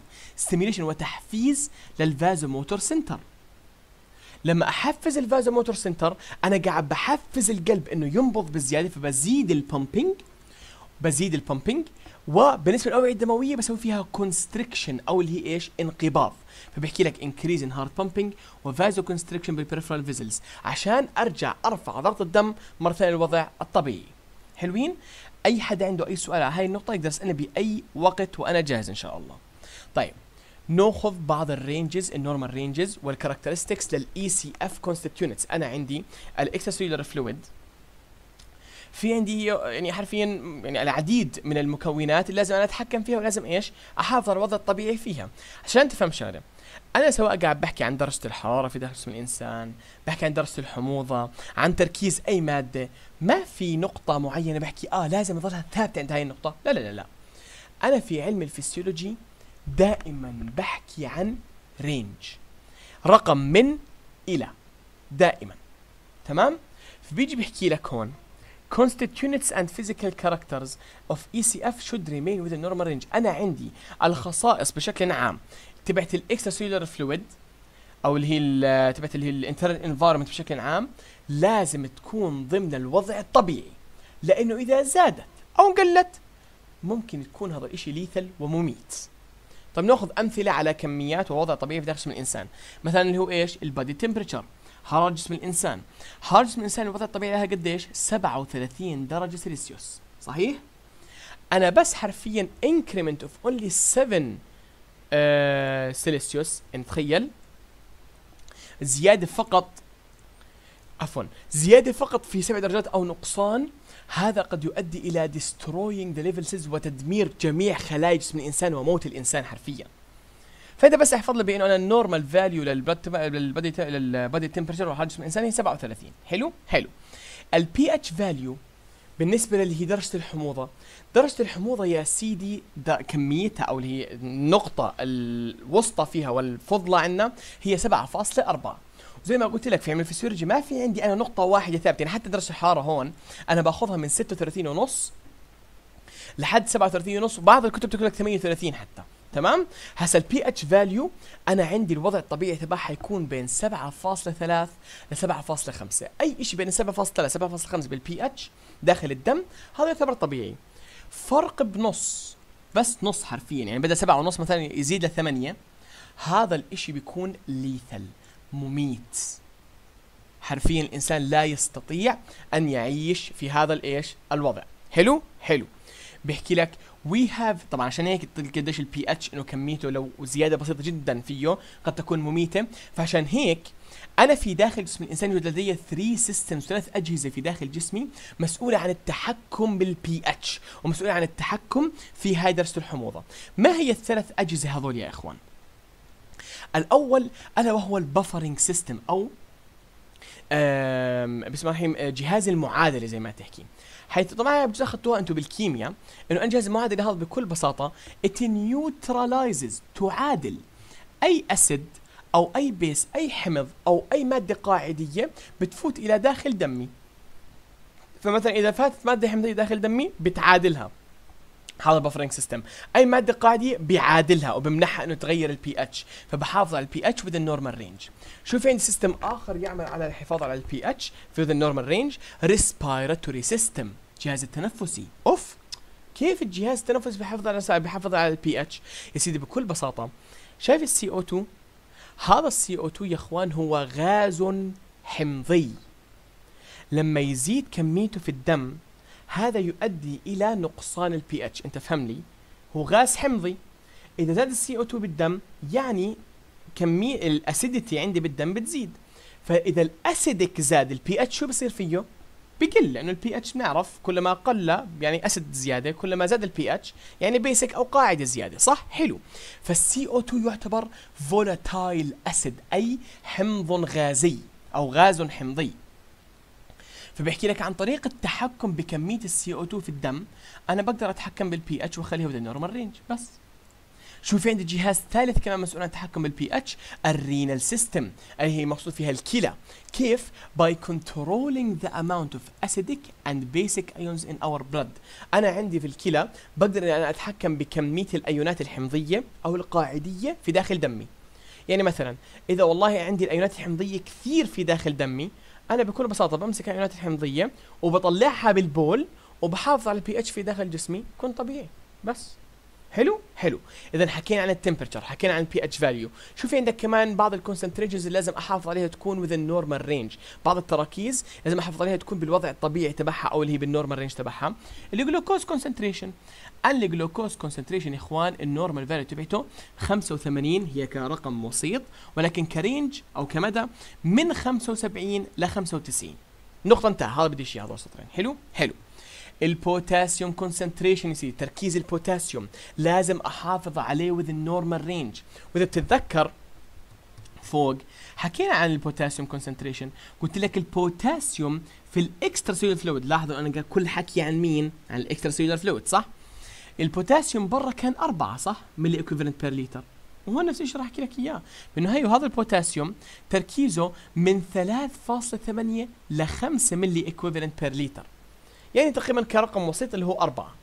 طيب شو بيصير إذا البوتاسيوم زاد أو قل؟ هل هالدرجة راح تفرق معي؟ بيحكي لك إذا البوتاسيوم قل من دون هذا التفاصيل ما تهمنيش أنا صراحة اللي هي قل أقل من الثلث وإلى ضعف ما يهمنيش إذا البوتاسيوم قلت كميته يؤدي إلى paralysis in all the body يؤدي إلى شلل في جسم الإنسان. وإذا زاد البوتاسيوم كميته هذا يؤدي إلى خلل في القلب وال heart will be severely depressed. ال heart والقلب حرفيا راح يكون غير قادر على الانقباض وراح يكون حرفيا قاعد ومتكي. تمام؟ فاذا نقصان في البوتاسيوم يؤدي إلى paralysis وشلل في الجسم. زيادة في البوتاسيوم تؤدي إلى depression في ال heart وتثبيط في القلب. تمام؟ فاذا جدا جدا خطير هذا البوتاسيوم لازم أحافظ عليه within ال normal ranges شوف عندي كمان ايون كثير مهم ان احافظ عليه الكالسيوم. الكالسيوم concentration كثير مهم احافظ عليه بال normal range حيث إذا الكالسيوم concentration يا إخوان قل للنص. ما بدي أحكي لك صار صفر قل كميته للنص. هذا الأمر سيؤدي إلى شيء اسمه؟ tetanic contractions tetanic contractions أو اللي هي انقباضات الكزازية. تعرف جزء الكزاز سمعتوا فيه؟ إنسان بيكون فيه متشنج. فإذا قلت كمية الكالسيوم هذا يؤدي إلى تشنجات في العضلات اسمها tetanic contraction تمام؟ يا سلام عليك okay. نفوت هسه على موضوع جديد شوي صراحة. ألا وهو وصراحة بلكي المحاضرة هون راح يكون. Characteristics of homeostasis control system خصائص ال homeostasis راح نحكي عن موضوعين رئيسيات في ال homeostasis يا أخوان ألا وهو ال negative feedback وال positive feedback وهذول الموضوعين راح يضلوا معك إلى طول حياتك جدا مهمات. شو معنى negative feedback شو معنى positive feedback وهي مرة ثانية خصائص لل homeostasis على حفاظ الاتزان الداخلي في داخل جسم الإنسان. ال negative feedback أو مصطلح ال negative feedback هي بكل بساطة عشان تفهم لي إياها فهم بعدين نقرأ. معارضة أو doing the opposite لأي تغيير بيصير على أي شيء بالجسم. يعني إذا زادت درجة حرارة الجسم ال negative feedback بيقلل لي إياها. إذا قلت درجة حرارة الجسم ال negative feedback بيرفع لي إياها. blood pressure إذا قل ال blood pressure negative feedback بيرفع لي اياه زاد ال blood pressure negative feedback بيقلل لي اياه وهكذا. فهي إنه أنا أعارض أي تغير بصير عندي في داخل جسم الإنسان. شو بسميه هذا negative pressure فهي series of changes مجموعة من التغيرات التي يقوم بها جسم الإنسان لكي يعيد أو return the factor toward a certain mean value. لكي يعيد العامل اللي أنا تغير عندي في داخل جسمي إلى وضعه الطبيعي. وطبعا إحنا كل شيء حكيناه فوق كان ماشي على هذا الأساس إنه تقريبا كل ال control systems في داخل جسمي تمشي على ال negative feedback إنه أنا إذا زاد ضغط الجسم بدي أقلله قلت درجه الحراره بدي أرفعها قل concentration جلوكوز بدي أرفعه هكذا يعني.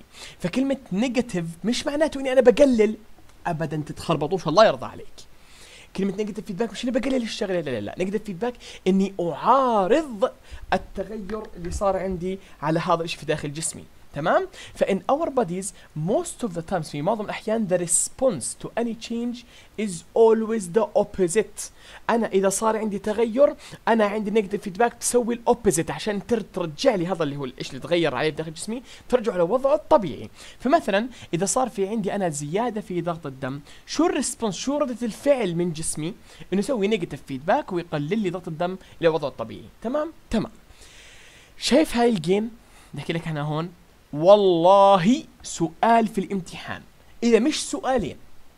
طبعا هسه راح أعطيك أنا الفكرة العامة عنها إن شاء الله وراح انزل لكم بإذن الله ملف فيه أسئلة عن ال gain وأورجيكم كيف ممكن يجي كل سؤال أو كيف طريقة كل سؤال ممكن يجي على ال gain لأنه ال gain صراحة الموضوع جدا كبير ودكتور نايف كثير بحب إنه صراحة الطلاب تفكر في هذا الموضوع راح نأخذ إن شاء الله كل ال possibilities في الملف راح انزل لكم إياه لقدام بإذن الله. ال gain of control system شو معنى كلمة gain عشان نفهم شغلة بالأول إحنا بنعرف إن ال homeostasis بيشتغل أو works to avoid change عشان يغير عشان يمنع التغيير عفوا عن طريق ال negative feedback شو ال gain؟ ال gain هو عبارة عن how effective the negative feedback how effective the negative feedback in correcting these changes. قديش أنا عندي فاعلية ال negative feedback في تصليح هاي التغييرات. تمام؟ فاعلية ال negative feedback في تصليح التغييرات بسميها gain. طيب ال gain شو قانونه؟ في له قانون. في له قانون عشان أحسبه هي على حسابات ترى. ال gain قانونه هي عبارة عن ال correction أي التعديل اللي بيسوي لي ال homeostasis أو عفوا اللي هو قديش التصليح اللي بيسوي لي ال homeostasis على ال error من هذا ال control system يعني أنا عدم المؤاخذة ما فيش شيء perfect أنا عندي هذا ال homeostasis أو هذا ال negative feedback صلح لي من هذا التغيير ولكن مش 100% تمام؟ قديش ضل عندي أنا error بحطه بهذا اللي هي إيش؟ المقام. فبالتالي نأخذ كمثال بسيط. نأخذ كمثال بسيط هون. والله لو إنه مثلا كان عندي أنا ضغط الدم blood pressure الوضع الطبيعي له يا إخوان طبعا بكون أعطيك إياه بالسؤال هو وضع الطبيعي لل blood pressure هو 100 حلو؟ راح صار في عندي أنا تغيير خارجي أو إنسان نقل له دم صار transfusion وزاد ضغط الدم عنده من دون تنظيم من دون control system ضغط الدم بزيد ل 175 المفروض. المفروض إنه يزيد ل 175 هاي إيش؟ without control من دون تنظيم. حلو؟ ولكن لاحظنا بأنه أنا في داخل جسم الإنسان لأنه في عندي control في عندي negative feedback في عندي أنا تنظيم بال homeostasis راح ضغط الدم ما زاد ل 175 زاد ل 125 إيه؟ طب ممتاز. لاحظ معي إذا أنا سألتك هذا ال negative feedback هذا ال homeostasis قديش صلح لي أنا عندي من هذا التغيير. يعني أنا كان المفروض عندي يرفع ل 175 ولكن هذا ال negative feedback صلح لي هذا الإشي ورفع عندي بس ل 125 فقديش صلح عندي؟ هو عندي 175 ناقص 125 هذا التصليح. فيعني 50 هذا البسط اللي هو ال correction عشان نعرف مرة ثانية. ال gain ما هو قانونه؟ هو ال correction على إيش؟ على ال error. اللي ضل عندي. وزي ما قلت لك أنا إذا كان اللي هو هذا ال negative feedback شغال 100% ويعني perfect المفروض أنا ما يصيرش في عندي أي زيادة على ال pressure المفروض هي تظلها 100 يعني إن شاء الله نقول لك 40 لتر دم المفروض ضغط الدم عندك يظل 100 ولكن لاحظنا بالله ضغط الدم زاد ل 125 هذا يعني بانه control system مش perfect كان في عنده error كان في عنده خطأ. قديش الخطأ اللي أنا عندي إياه؟ إنه أنا بدل ما يكون 100 صار 125 فهو 25 الخطأ. حلو؟ فقديش ال gain 2 على 1 طبعا هسه هون راح تلاحظوا إن شاء الله هون في أثناء اللي هي شرح. أنا في عندي positive عندي negative ما تهتموا فيها.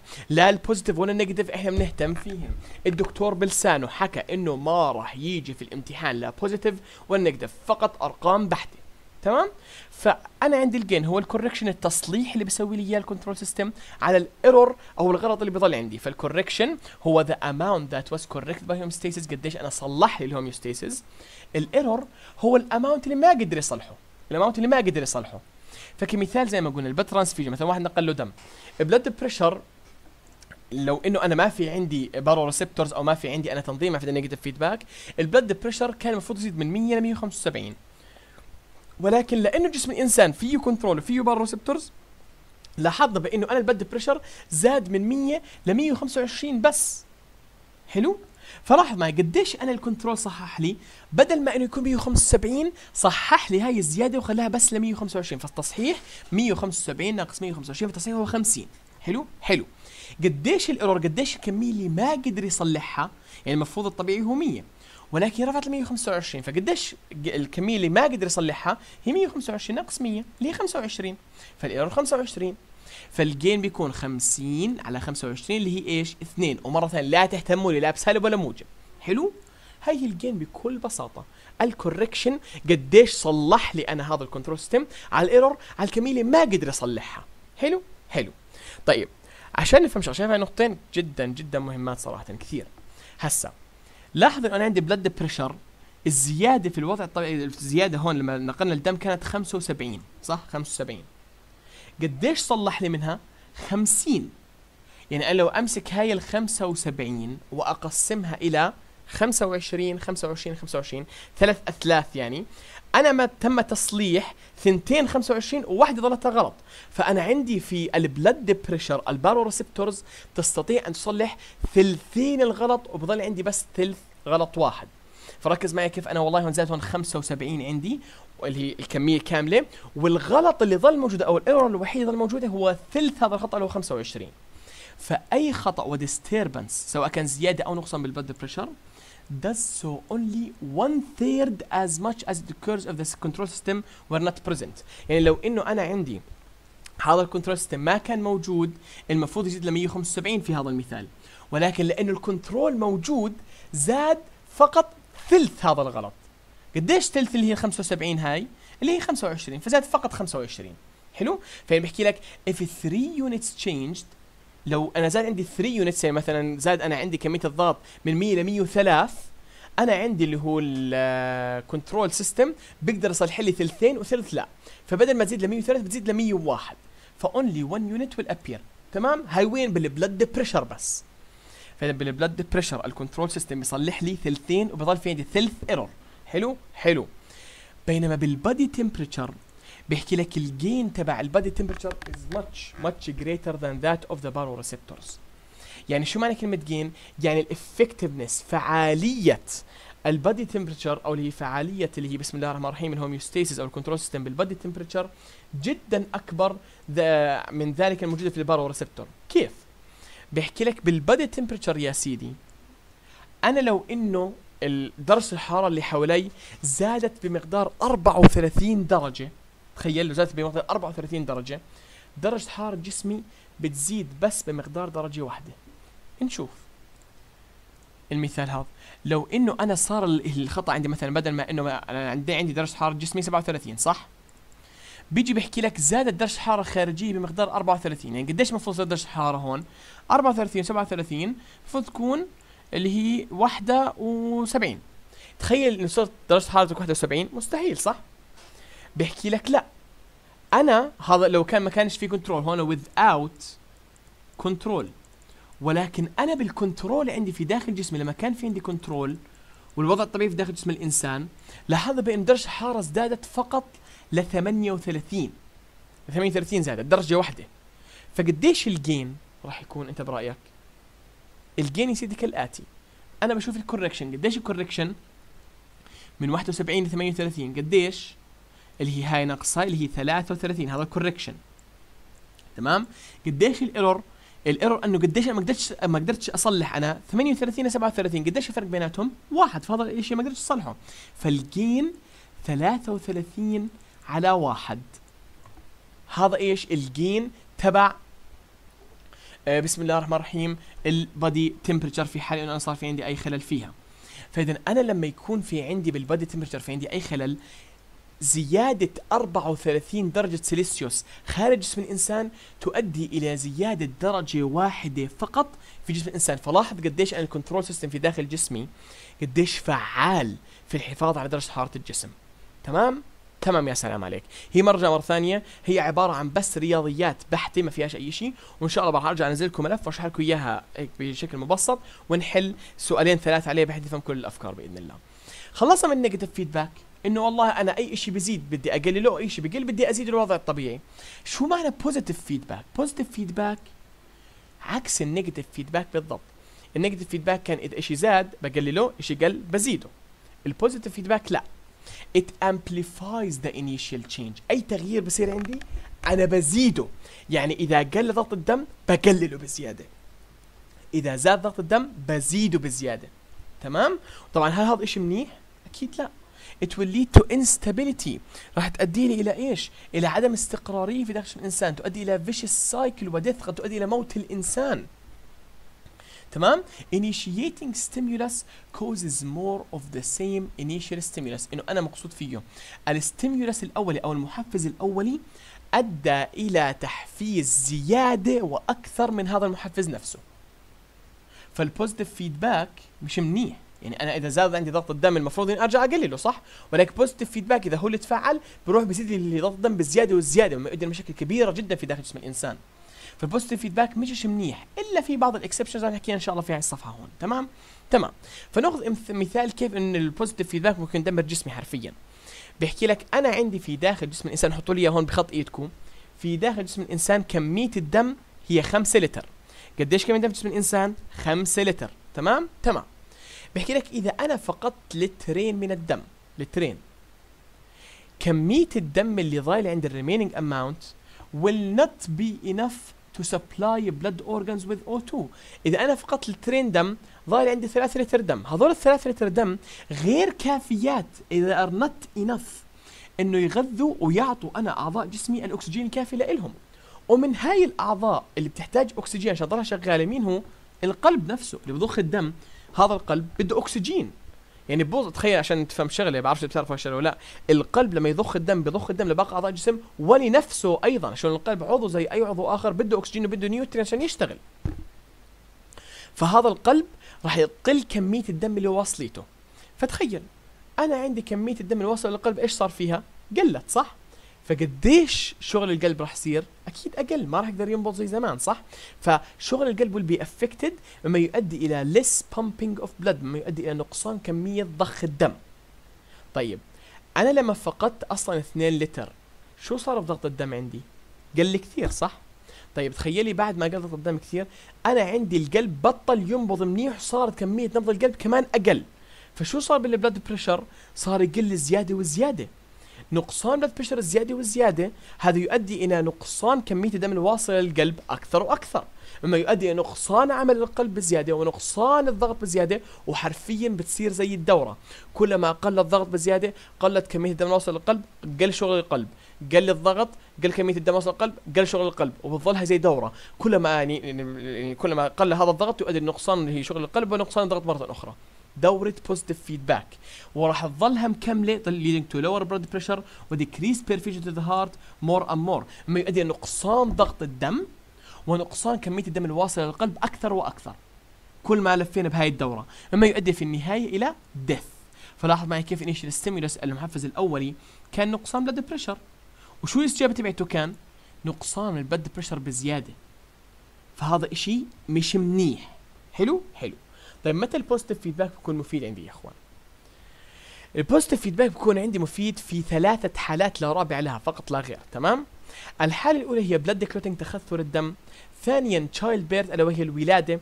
وثالثا generation of nerve أو تكوين السيالات العصبية. بس معلومات حرفيا سطحية عن كل واحدة. blood clotting أنا تخيل لي يا سيدي إنه أنا في عندي وعاء دموي هون وهذا الوعاء الدموي صار فيه هون إيش؟ خرق. يعني الدم صار يسيل لبرا صح؟ هذا شيء مش منيح فإيش لازم أسوي فيه هذا اللي هو الاختراق هذا لازم أسكره. بيجي عندي أنا مواد اسمها clotting clotting factors حلو؟ هاي ال clotting factors هي عبارة عن مواد داخل الدم هون تيجي تترسب هون في هذا المكان اللي هو المكان الخزق. حلو؟ ترسب ال clotting factors هون وتفعيل هاي ال clotting factors عشان نقول دقيقين تفعيل هاي ال clotting factors يؤدي إلى تفعيل clotting factors أخريات بزيادة. فلاحظ معي بإنه شو ال stimulus الاولي كان؟ تفعيل ال clotting factors أو عوامل التخثر. شو الاستجابة تبعت الجسم؟ إنه يفعل عوامل التخثر بزيادة. فهذا positive response مفيد. عشان إيش بالنهاية بدي أنا؟ بدي أسكر هذا الوعاء الدموي اللي أنا خزق عندي صح؟ فبيحكي لك لما ال blood vessel يصير فيه injury لما يتأذى أنا عندي وعاء دموي في عندي ماده اسمها clotting factors راح تتفعل عشان تسوي لي clot أو تسوي لي خثرة. تفعيل هذه ال clotting factors سيؤدي إلى تفعيل زيادة وزيادة ل clotting factors أخريات. مما يؤدي في النهاية إلى تسكير الوعاء اللي هو التسكير اللي هو الخزق اللي صار عندي بالوعاء الدموي وتسكير وت... وإيقاف اللي هو النزيف اللي صار عندي. حلو؟ حلو. والله تخيل لي شغلة إنه أنا عندي هاي الخثرة كونت هون وسكرت لي ولكن ما وقفت. ما وقفت. إيه؟ إيه؟ وقفت يا أبو الشط؟ لا يا أبو الشط. إيش قاعد بصير؟ سكرت لي الوعاء الدموي كامل. فأنا تخيلوا سكرت الوعاء الدموي كامل الدم راح يبطل يقدر يمشي. عارفين؟ it's blocked فهي شيء مش منيح طبعا. فهذا ال clotting إجباري أنا أوقفه هون بعد ما أسوي الخثرة ويتسكر أنا عندي هذا إيش؟ الخزق اللي هون. فبيجي بيحكي لك هاي ال process لازم تتسكر بعد closing the hole بعد ما أسكر أنا هاي الحفرة أو هاي الخزقة بالوعاء الدموي إجباري إنه أنا هذا ال blood clotting إنه يسكر عندي أو يوقف عندي.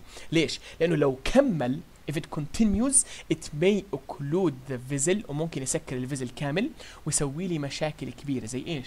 زي النوبة القلبية أو heart attack فاذا أول exception ال positive feedback اللي هو بيكون فيه ال positive feedback منيح لإلي هي ال blood clotting ثانيا childbirth ألا وهي اللي هي آه الولادة يعني. كيف يا إخوان الولادة بتكون شيء منيح؟ دل كيف هون عندي. أنا هذا الطفل موجود عندي في الرحم. انقباض عضلات الرحم سيؤدي إلى دفع رأس الطفل إلى وين؟ إلى عنق الرحم صح؟ هذا عنق الرحم أو ال cervix اللي هون. فطيب كيف ال cervix؟ توسع. بدي اياك تفهم الشغله توسع عنق الرحم يؤدي إلى إرسال إشارات للرحم إنه انقبض بزيادة. فلما ينقبض بزيادة بدفع الطفل بزيادة باتجاه باتجاه عنق الرحم فعنق الرحم بتوسع بزيادة. فهذا يؤدي إرسال إشارات أكثر للرحم إنه انقبض بزيادة. فضل كيف إنه أنا عندي كل ما تنقبض عند الرحم بيزيد أنا توسع عنق الرحم لأنه الطفل قاعد بيمشي عبره. مما يؤدي ارسال إرسال إشارات أكثر للرحم إنه انقبض بزيادة. فشو ال initial stimulus؟ إنه أنا انقباض الرحم كان صح عشان أدفع الطفل للأسفل. وشو كان ال response والاستجابه تبعته؟ إنه أنا الرحم قاعد بينقبض عندي زيادة وزيادة وأقوى. فهاي childbirth شيء منيح عشان أقدر أطلع الولد إلى الخارج. حلوين. فبيحكي لك في ال childbirth during delivery the uterus will contract and push the baby's head against the cervix. حلو؟ فأنا في أثناء الولادة الرحم سينقبض وسيؤدي إلى دفع رأس الطفل باتجاه عنق الرحم. وإيش؟ تمديده. مثل كيف أن الطفل رأسه قاعد بيرجع عنق الرحم بتمدد. تمديد عنق الرحم بيقول لك the stretched cervix عنق الرحم الممدد. سيبعث signals وإشارات لل uterus والرحم. ليش؟ شو بيسوي هاي الإشارات؟ تزيد من انقباضات وقوة انقباضات الرحم. وتقلل من مدة ما بين هذه الانقباضات تقلل من ال time between the contractions فلاحظ بأنه أنا بزيد عدد الانقباضات وبزيد قوة الانقباضات. عتنه إيش؟ تنه عدك هالولد ينولد. فشو ال trigger الأولي؟ انقباض الرحم. انقباض الرحم أدى إلى توسع عنق الرحم. توسع عنق الرحم أدى إلى انقباض الرحم بزيادة. فال response كان stronger وزيادة ال number حتى كمان تبع ال contractions حلو؟ حلو. هاي طبعا positive feedback مفيده عشان بده ولد ينولد بالنهاية. وآخر إيه، إيه، يعني اللي هي جهه من جهات ال positive feedback المفيدة ألا وهي generation of nerve signals تكوين السيالات العصبية. بجوز أخذتوها بالتوجيهي السيالات العصبية كيف تتكون عندي. عشان نفهم شغلة بس على السريع. أنا عندي في داخل جسم الإنسان في داخل الخلايا عشان خلينا نشيل هيك. داخل الخلايا أنا موجود عندي توزيع للشحنات على الجهتين صح؟ هذا تتذكر إنه أنا قلت لك خارج الخلية بكون عندي أنا الصوديوم كثير والكلورايد كثير داخل الخلية عندي أنا بوتاسيوم كثير وأس أو 3 ماينس كثير. حكيناها معلومة قبل صح؟ بيجي بيحكي لك توزيع الأيونات على جهتين الخلية غير متساوي. كيف يعني؟ توزيع الايونات الموجبه والسالبه عفوا توزيع الايونات الموجبه والسالبه على طرفي غشاء الخلية غير متساوي. فهذا يجعل خارج الخلية موجبا مقارنة بداخله. ليش؟ لأنه كمية الشحنات الموجبة اللي برا أكبر من كمية الشحنات الموجبة اللي جوا. بس خليها ببالك. برا بالوضع الطبيعي موجب وجوا سالب. حلو؟ حلو. هذا الوضع الطبيعي للخلايا. فبيحكي لك هنا all body cells have negative charge inside them. يعني أنا عندي كل خلايا الجسم في داخلها يوجد شحنة سالبة مقارنة بالخارج. حلو؟ يا سلام عليك. بسبب إيش؟ بسبب توزيع الأيونات غير المتساوية ما بين داخل وخارج الغشاء. لأنه أنا عندي داخل الغشاء يوجد شحنات موجبة أقل من شحنات الموجبة موجودة خارج الغشاء. فبرا صار موجب مقارنة بالجوا اللي هو صار سالب. حلو؟ حلو. بيحكي لك أنا في عندي بعض ال tissues وبعض الأنسجة تعتبر أنسجة excitable يمكن تحفيزها. شو يعني تحفيزها يا إخوان؟ عشان تفهم شغلة كلمة تحفيز ل tissue إنه أنا بدي أسوي فيه كهرباء بدي أسوي فيه سيال عصبي أسوي فيه كهرباء. يعني كهرباء؟ بكل بساطة أنا بدي نق أنقل هاي الشحنات الموجبة من برا لجوا وهاي من برا لجوا من برا لجوا. إن إيش أسوي الخلية؟ أخلي الخلية من جوا موجبة ومن برا سالبة. شايف هاي عملية إن أخلي جوا موجب وبرا سالب؟ إني نقل الايونات الموجبة من برا لجوا. هاي العملية بسموها action potential رح ناخذها إن شاء الله لقدام أو تكوين السيال العصبي. وأنا عندي هاي اللي هي ال tissues اللي ممكن تكون excitable وقادرة إنه تسوي هذا السيال هي خلايا العصبية طبعا والخلايا العضلية. رح نحكي لقدام بإذن الله في المحاضرات القادمة. المقصود ب excitable مرة ثانية إنه أنا ال membrane charges ألا وهي المقصود فيها توزيع الشحنات عبر على جهتين ال membrane. اللي هو ال membrane potential بسموه حتى. Could be changed to become positive inside وبرا يكون negative فأنا القصة وما فيها كلمة excitable إنه أنا أغير شحنات ال membrane بحيث بدل ما يكون برا موجب وجوا سالب اعكسهن يصير جوا موجب وبرا سالب. أدخل الشحنات الموجبة من الخارج إلى الداخل. لما أدخل الشحنات الموجبة من برا لجوا شو بيسوي لي هاي الشغلة؟ حرفيا كهرباء. تخيل إنه شحنات تنتقل وحركة الشحنات هي كهرباء. فهاي الكهرباء هي السيال العصبي حلو؟ يا سلام عليك. طيب أنا سؤال إذا بدي أسألك سؤال. أنا قاعد بحكي لك هاي الشحنات الموجبة برا بدي أدخلها لجوا. شحنات موجبة من برا أدخلها لجوا. شو الشحنات الموجبة الموجودة عندي برا الخلية؟ أتوقع ما عرفتوهاش صح؟ الصوديوم لا الصوديوم صحيح 100% هي الصوديوم يا إخوان. فالصوديوم هو عبارة عن الأيون الموجب الرئيسي خارج الخلية فهو اللي راح يدخل لجوا ويسوي لي هاي الكهرباء. فبحكي لك for the charge inside to become positive عشان أنا الشحنه اللي في داخل الخلية تصير موجبة لازم positive ion يدخل داخل الخلية. شو هذا ال positive ion شو هي الشحنة الموجبة تدخل داخل الخلية؟ هي الصوديوم. حلوين؟ لحد الآن كله حلوين. هسا عشان نفهم شغلة أنا عندي الصوديوم كيف بدخل داخل الخلية من البداية أصلا؟ خليني نرجع شوي لورا أنا عندي هون على سطح الخلية يوجد قنوات للصوديوم. هاي قنوات الصوديوم إيش مالها؟ مسكرة. هيك مسكرة بتكون. حلو؟ ولكن أول قناة صوديوم تيجي بوم تفتح. بيجي هالصوديوم بدخل عبرها. حلو؟ دخول أول جزيئة صوديوم إلى الداخل سيؤدي ذلك إلى تحفيز قنوات الصوديوم الأخرى إنه إيش تسوي؟ تفتح كلياتها ويؤدي ذلك أنه الصوديوم يصير يفوت لجوا عبر كل هذه القنوات فلاحظ معي بأنه دخول الصوديوم أول مرة أدى إلى فتح قنوات صوديوم بزيادة ودخول صوديوم بزيادة فال initial stimulus والمحفز الأولي إيش كان؟ صوديوم entrance دخول الصوديوم شو الاستجابة كانت؟ إني أنا أزيد كمية الصوديوم اللي قاعد بدخل لجوا ف positive feedback تمام؟ فبحكي لك أول صوديوم gets inside أول صوديوم دخلت إلى الداخل ستسهل facilitates تسهل دخول more and more sodium ions إلى داخل الخلية. Until the inside becomes positive. حتى يصير داخل الخلية إيش ماله عندي؟ موجب ويتكون لدي السيال العصبي أنا بسميه action potential وفي عندنا محاضرات تفصيلية كبيرة إن شاء الله عن ال action potentials لقدام وسهلة جدا إن شاء الله. يعني هاي الاشي حكيت لكم اياه هسه؟ يلخص 50% من المحاضرات. سهلة. فاذا شو ال useful positive feedbacks أو ال positive feedbacks المفيدة فقط في داخل الإنسان. يا blood clotting تخثر الدم وال child birth عشان يولد الولد و generation of nerve signals أي شيء ثاني بال positive feedback غير هذول الثلاث يعتبر شيء سيء وشيء مضر الجسم وقد يؤدي إلى ال death وموت الإنسان. آخر شيء بدي أحكيه ألا وهو complex type of control system هسا أنا في عندي غير ال control system اللي حكينا فوق ال negative feedback وال positive feedback في عندي control system اسمه adaptive control system حلو؟ هذا ال adaptive control system ألا وهو عبارة عن جهاز تحكمي تكيفي. كيف يعني تكيفي؟ يا أخوان بالله تخيلوا لي المثال كالآتي.